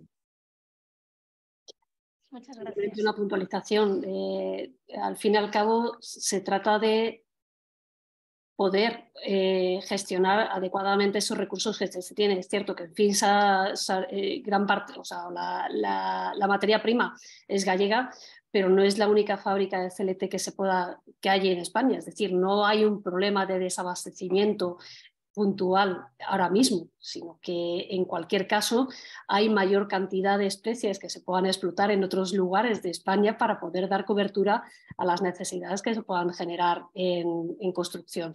De hecho, pues eh, como se ha comentado, en Cuenca en el proyecto FIL se está trabajando en, la, en una fábrica en Nemétona y eh, hay otros proyectos similares en otros puntos de España, por lo cual no es un problema ese desabastecimiento de CLT a la hora de, poder construir. Y no es el único elemento estructural para poder construir en madera. Es decir, no solamente se utiliza el CLT, sino que hay otros tipos de producción que requieren otro tipo de fabricación. Eh, estoy de acuerdo con, mis compañeros, con, tanto con Carmen como con Manuel, que efectivamente en, España, el, bueno, España era uno de los países europeos que mayor superficie forestal no solo tiene, sino que además está aumentando. O sea que el, hay y tenemos mucho más margen de crecimiento para hacer aprovechamientos forestales de manera sostenible. lo que tenemos que cambiar y mejorar es el nivel de planificación y, eh, forestal, nivel de planificación y ordenación forestal.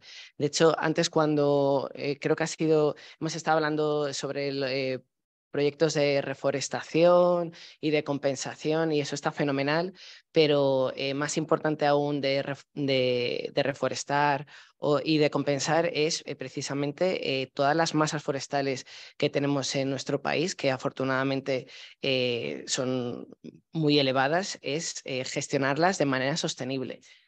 Y ese es el gran reto que, uno de los retos que tiene el sector para poder ofrecer eh, madera sostenible al mercado. Bueno, yo tengo otra pregunta, pero voy a orientar el debate hacia otro ámbito.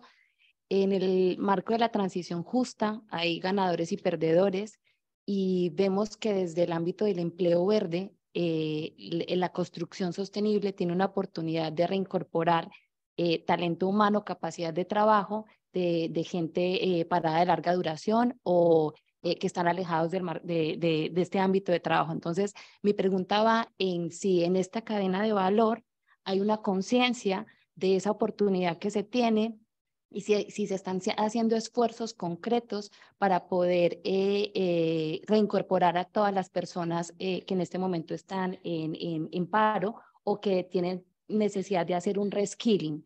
Eh, sobre todo porque hay una oportunidad para reverdecer esas em, eh, profesiones de, tradicionales de, como serían las de las profesiones del sector de la construcción.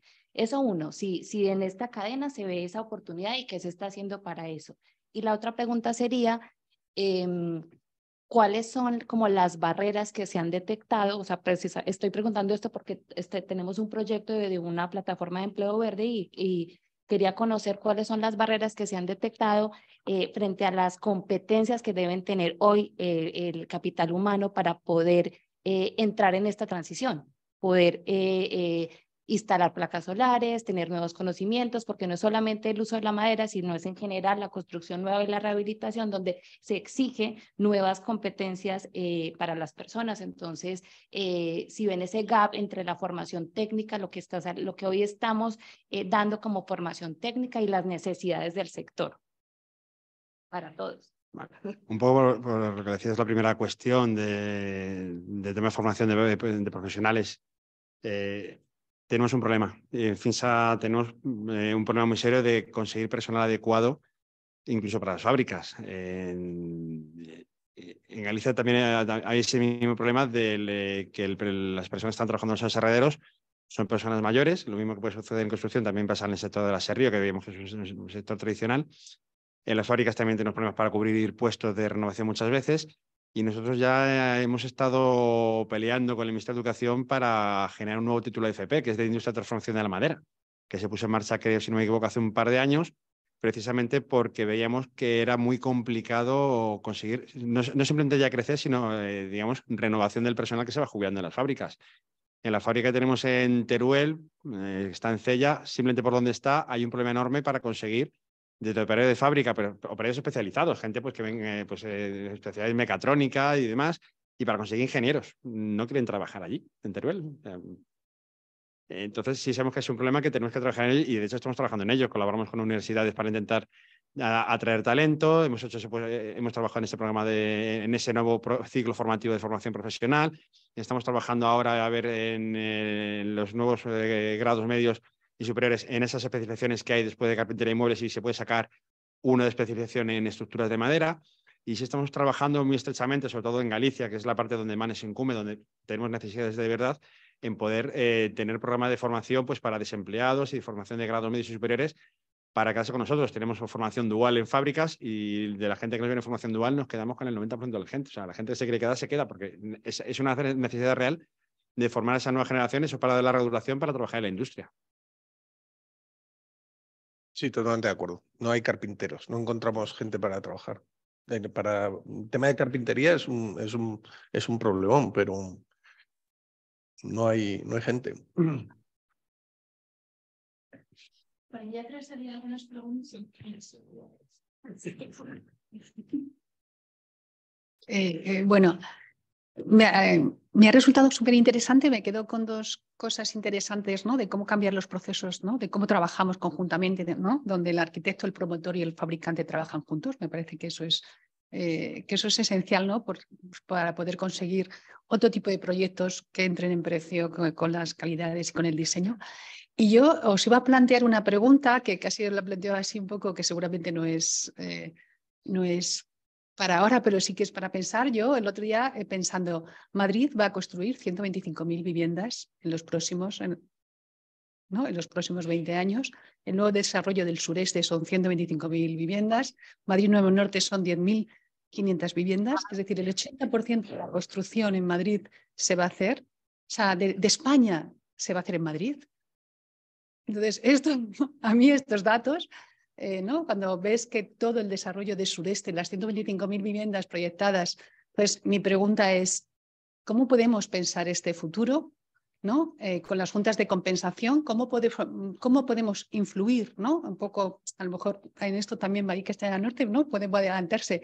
¿Cómo poder trabajar ¿no? Eh, con las juntas de compensación, que son las que van a, a tener que tomar las decisiones? ¿no? muchas veces en cómo se construye, em, cómo podemos articular una forma de, poder influir ¿no? entre las administraciones, empresas, ¿no? Para que, porque realmente el reto está ahí, ¿no? O sea, estabais diciendo que, que, cambiar el sector de la construcción, pero también, eh, también tenemos que, que cambiar el sector de la fabricación, pero también cómo piensan los arquitectos. Los arquitectos no están pensando ¿no? En madera tampoco ahora, ¿no? Es más fácil, ellos saben hacer que saben hacer la construcción y, diseñar en madera les sigue dando miedo a, los arquitectos, ¿no? Las, las, ¿no? Empiezan a... O sea, es decir, que también hay mucho cultural, ¿no? Eh, yo creo que desde el proyecto EU5 también se ha detectado que hay muchas barreras culturales, ¿no? Pero bueno, a mí este panorama de la ciudad de Madrid ya me inquieta eh, brutalmente, ¿no? De pensar que el 80% de la construcción de España se va a hacer en Madrid en los próximos 20 años, ¿no? Em, hay que pensar muy largo plazo. Sacamos unos números eh, gordos porque me interesa mucho este tema y con Miguel Levado, pues, que es el ingeniero de estructuras con el que trabajamos, em, le dije, Miguel, sácame unos datos globales de la cantidad de madera que hay, que esto seguro que Carmen lo sabe bastante mejor, o tiene otros datos, son unos datos gordos. Decía, mira, nuestros bosques al año crecen 35 em, millones de metros cúbicos, simplemente el crecimiento eh, que se produce de los árboles, de, lo poquito que crece cada, cada árbol. ¿no? Gestionando bien nuestros, bosques, pero en una visión largoplacista, es decir, 100, 150 años, podríamos construir 100.000 viviendas anuales eh, en madera. hay que transformarlo. Esas 100.000 solo de Madrid que hablas se van a hacer poco a poco en los próximos 10, 20 años. Em, este cambio radical, cambio de paradigma, cambio de transformación en todo el sector, pues hay que plantearlo, pues como plantea Masukato en estas misiones EU a 50 años o a 30 años, ¿no? O esta visión que habla ya también de visión catedral, ¿no?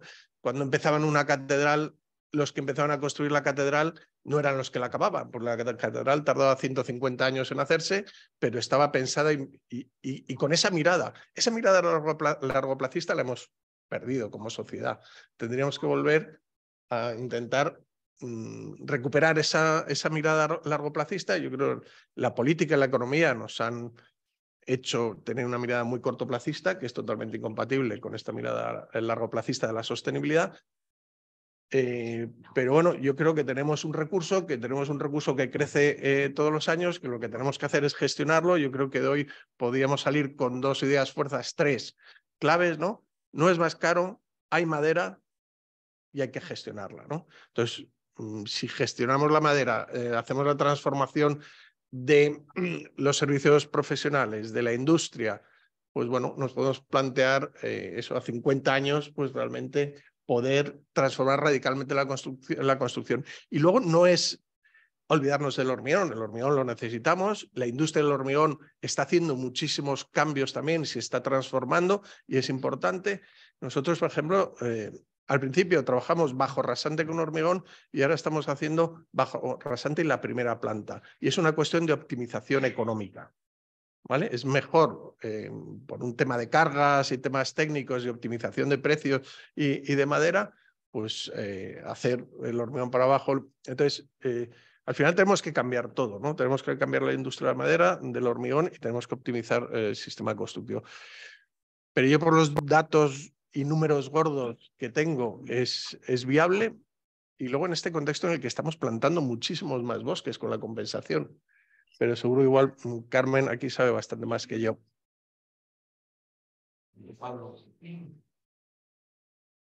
Yo quería aportar una, cosa, aunque he visto que, que, estaban cogiendo el micrófono por otro lado, eh, no entro en números, es cierto que, hay posibilidad de dar respuesta a esas necesidades que se tienen siempre y cuando se haga esa gestión a largo plazo. Eso es fundamental.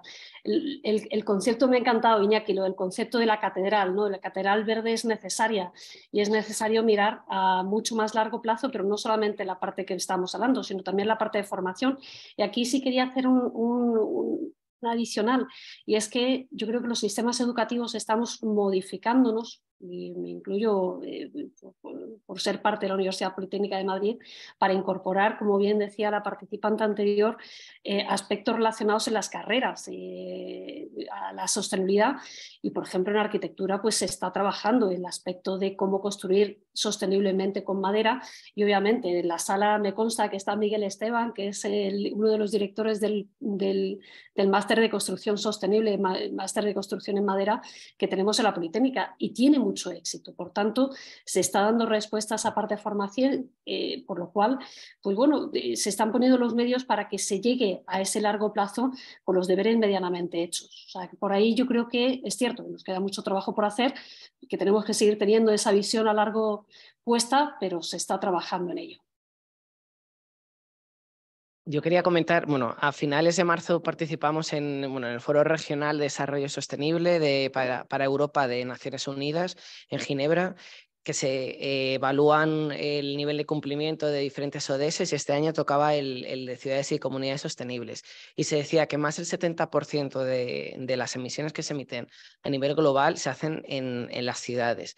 Entonces, en, este marco, mm, una planificación urbana adecuada y el uso de materiales sostenibles, como puede ser la madera, que son de las pocas herramientas que va a utilizar, que, puede tener el sector de la construcción para avanzar hacia la descarbonización.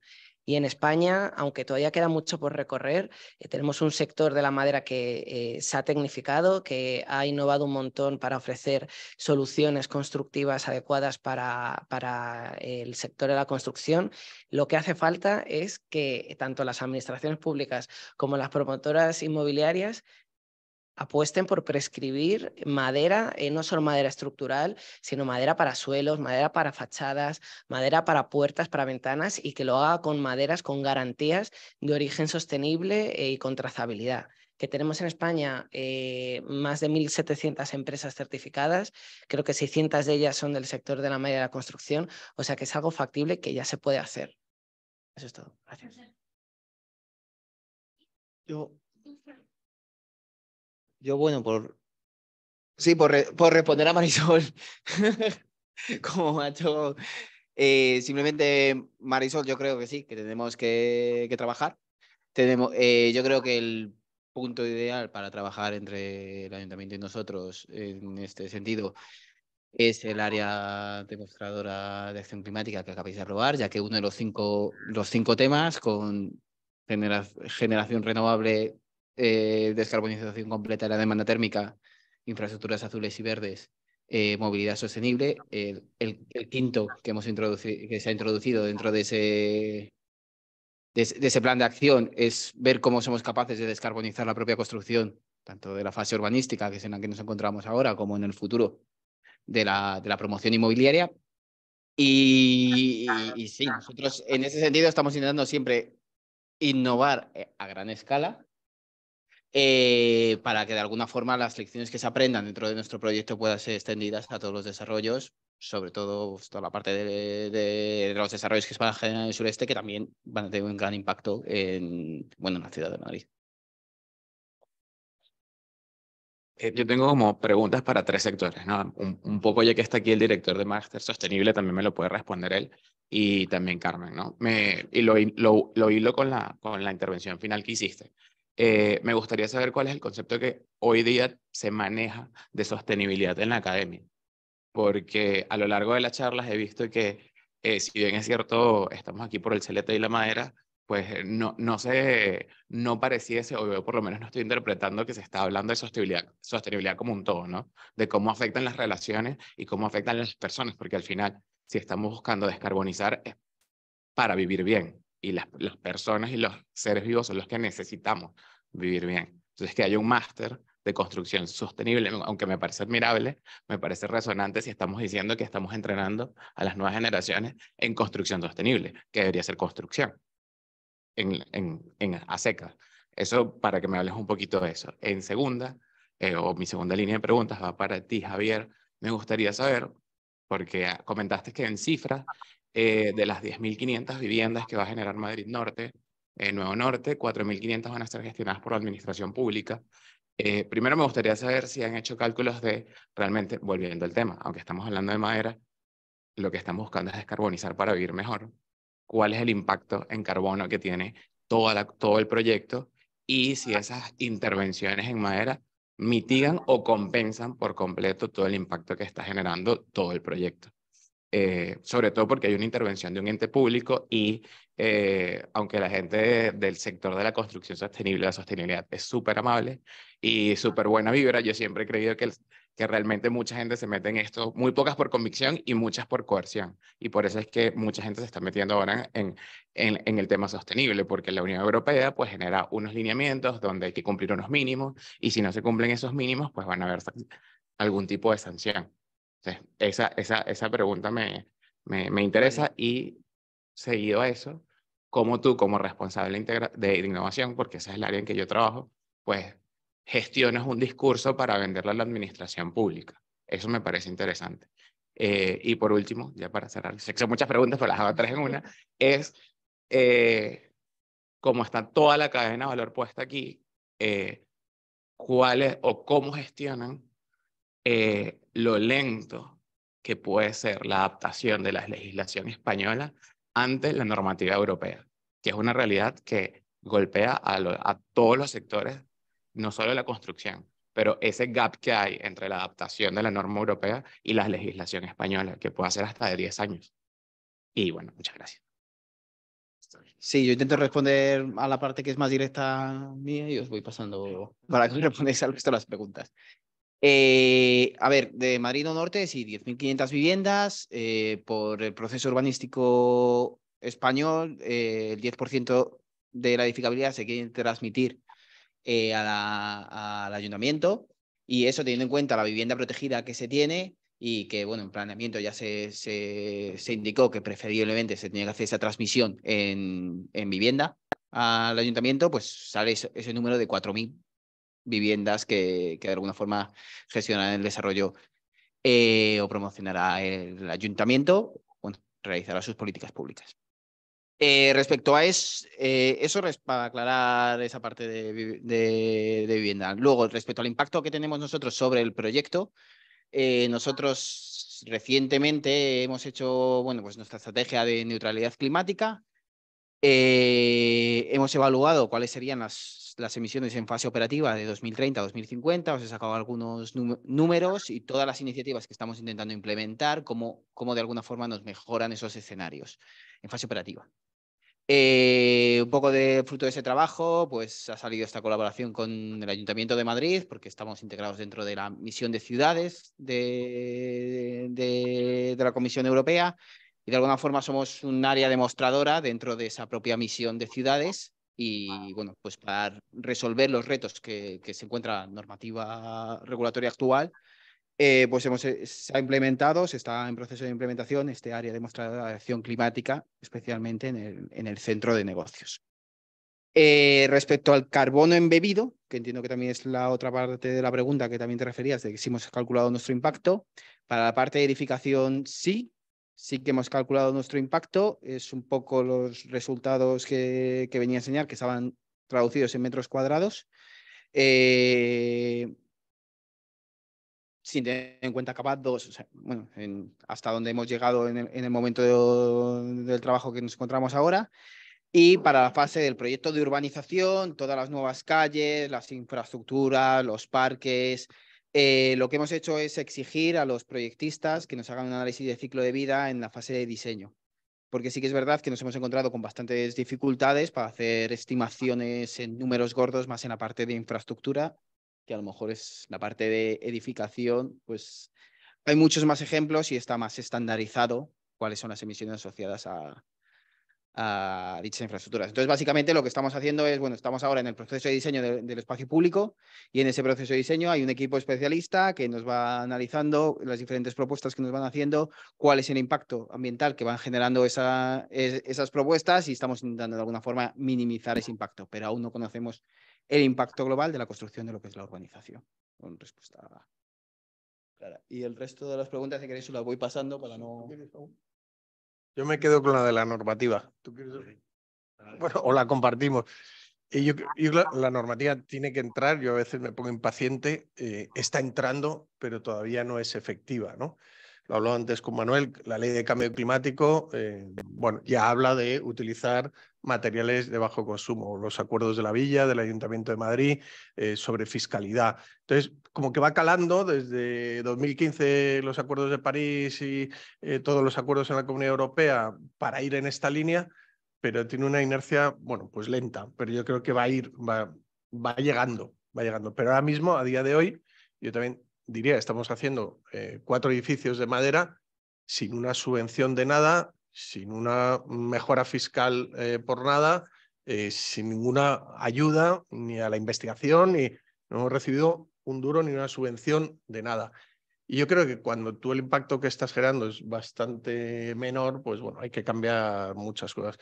Entonces, yo la estoy viendo venir, la normativa, pero no la, no, la sufro no la sufro.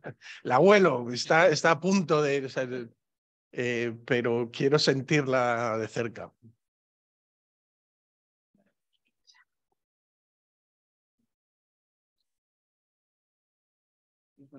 Un último comentario sobre esto, parte de la normativa. Es verdad que ahora ya con la taxonomía europea te van empezando a exigir, haz un análisis de ciclo de vida, pero es que estamos en un punto en el que te piden que hagas un análisis de ciclo de vida, no que lo optimices.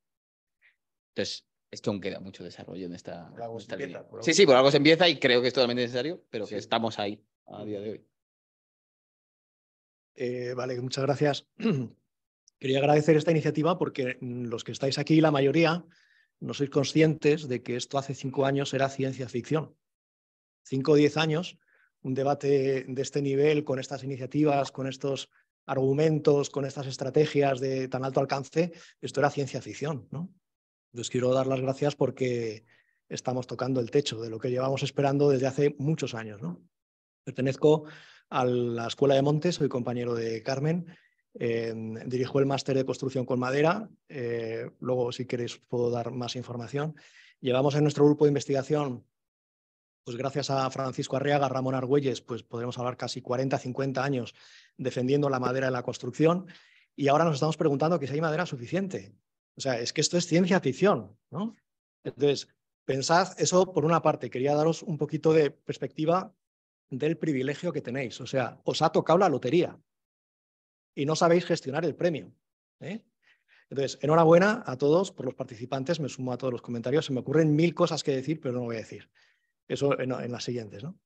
Y luego un apunte y es que yo creo que la Universidad Politécnica de Madrid en particular y la ciudad de Madrid en particular también tienen la oportunidad de liderar algo muy grande en este sector. Estamos hablando de una transformación, estamos hablando de ingeniería, de arquitectura, de profesiones que están al servicio de la sociedad para dar soluciones cuando la sociedad las demanda y en este caso hay una demanda muy fuerte de soluciones. ¿no? Entonces la ciudad de Madrid es eh, un potencial enorme, es un gran consumidor de este sector de, la construcción y la Universidad Politécnica de Madrid tiene las herramientas para dar esa respuesta. ¿no? Entonces, a través de la Escuela de Arquitectura, que es una de las más potentes de España, la Escuela de Montes, que cumple ahora 175 años de historia defendiendo la sostenibilidad. ¿eh?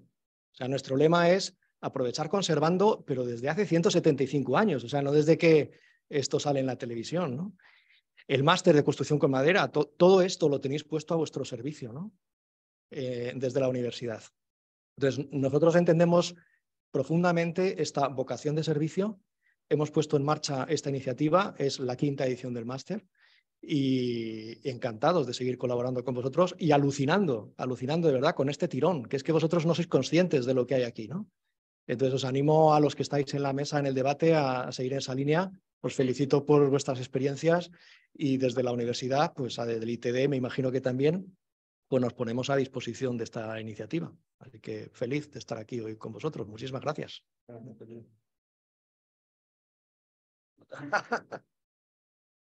Vale, creo que quedaba la visión de qué es la sostenibilidad desde la academia, de, esa posición que estamos defendiendo desde la academia respecto de sostenibilidad.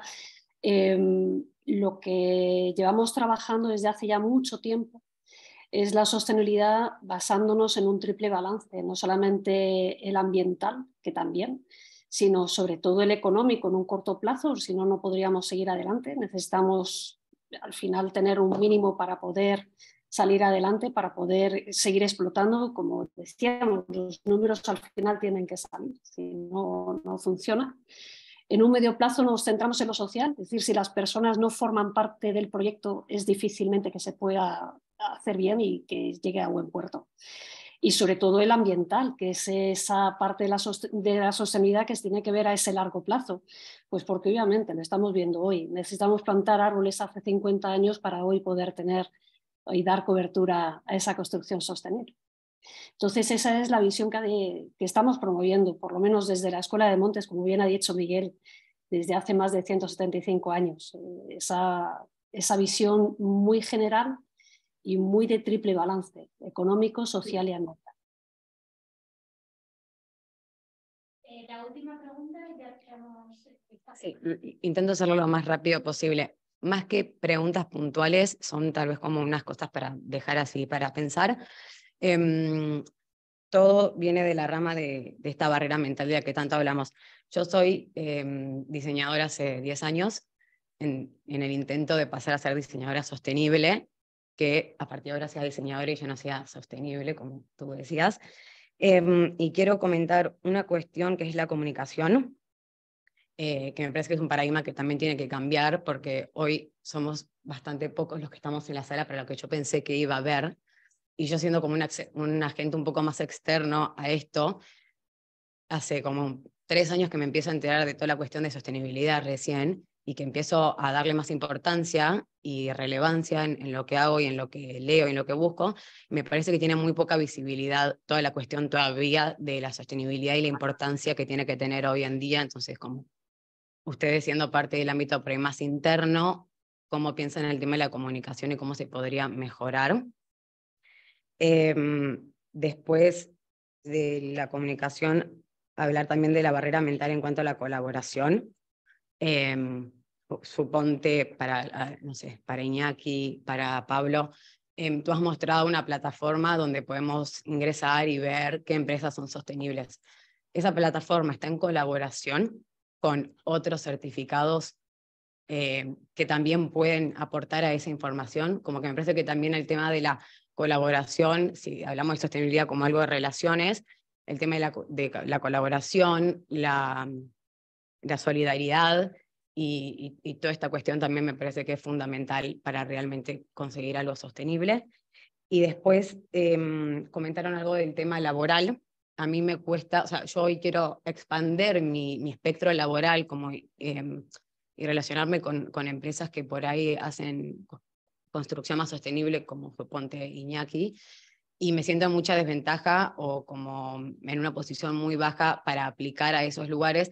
Y me parece que también, hablando del tema de la formación, hay que tener un poco más en cuenta el tema de la práctica versus la teoría, porque cuando, hizo la cuando mencionó el tema de lo laboral, todos hablaron de los problemas que tenían, que es que no consiguen personal, pero nadie habló del tema de la formación. Y me parece que la formación desde sus principios también es muy importante tener en, cuenta el tema de la práctica y que mismos los empleadores confíen un poco en esa práctica y no solo en la teoría. Unas cuestiones así. Vale, yo te voy a contestar del tema de la comunicación porque es principalmente eh, mi labor en este sector. Eh, como decía Miguel, si ahora te parece que puede haber poca gente, hace cinco años no habría nadie y esto no se estaría haciendo.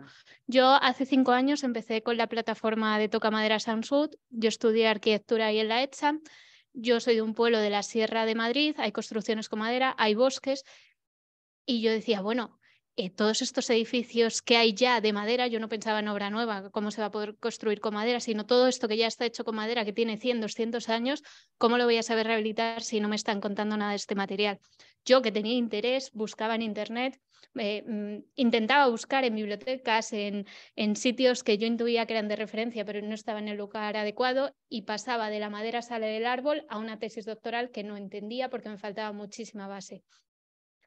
Eh, tuve la suerte de encontrarme por casualidad con una persona súper interesante y muy profesional de este sector, Enrique Nuere, para los que le conozcan, y él me asesoró y me fui a Galicia, que en ese momento era el único punto de formación mayoritariamente teórica, pero también teníamos parte práctica, y allí descubrí la obra nueva, el sector, las empresas, que había algunos eventos, alguna bibliografía que podía consultar que no encontraba de manera eh, esporádica, igual que buscas cualquier cosa en Internet.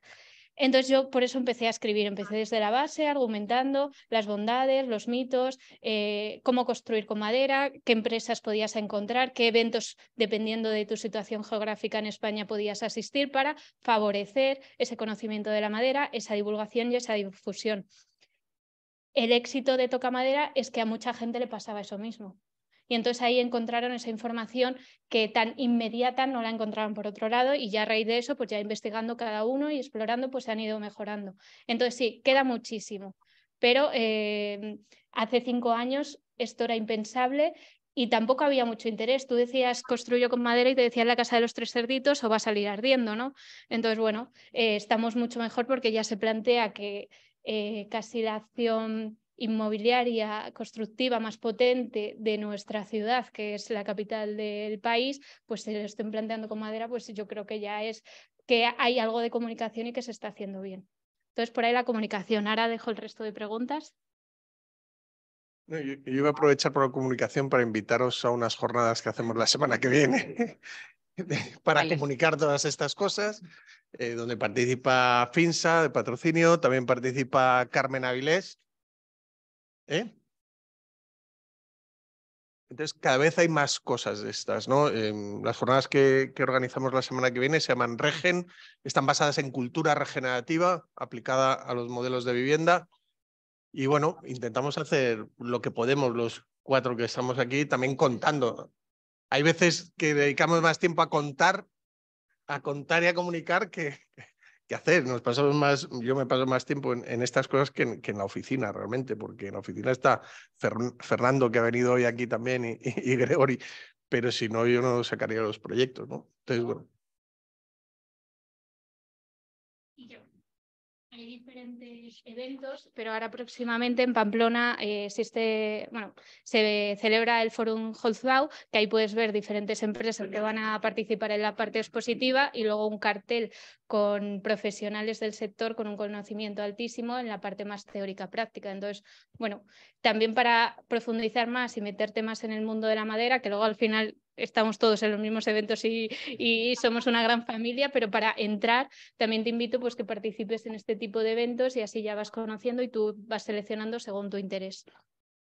Concluyo con esta, este bloque que de verdad ha sido súper interesante y enriquecedor. Muchísimas gracias a todos los asistentes, tanto presencial como online. Muchísimas gracias.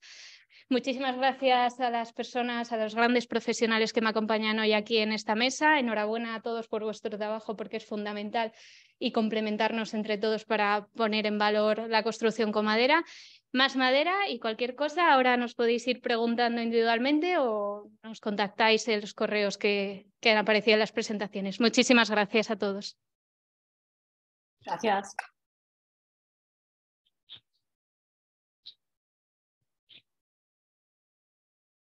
Ahora tenemos un catering sostenible. Sostenible.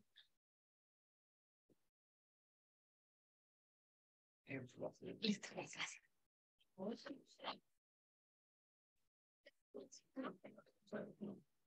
しょ。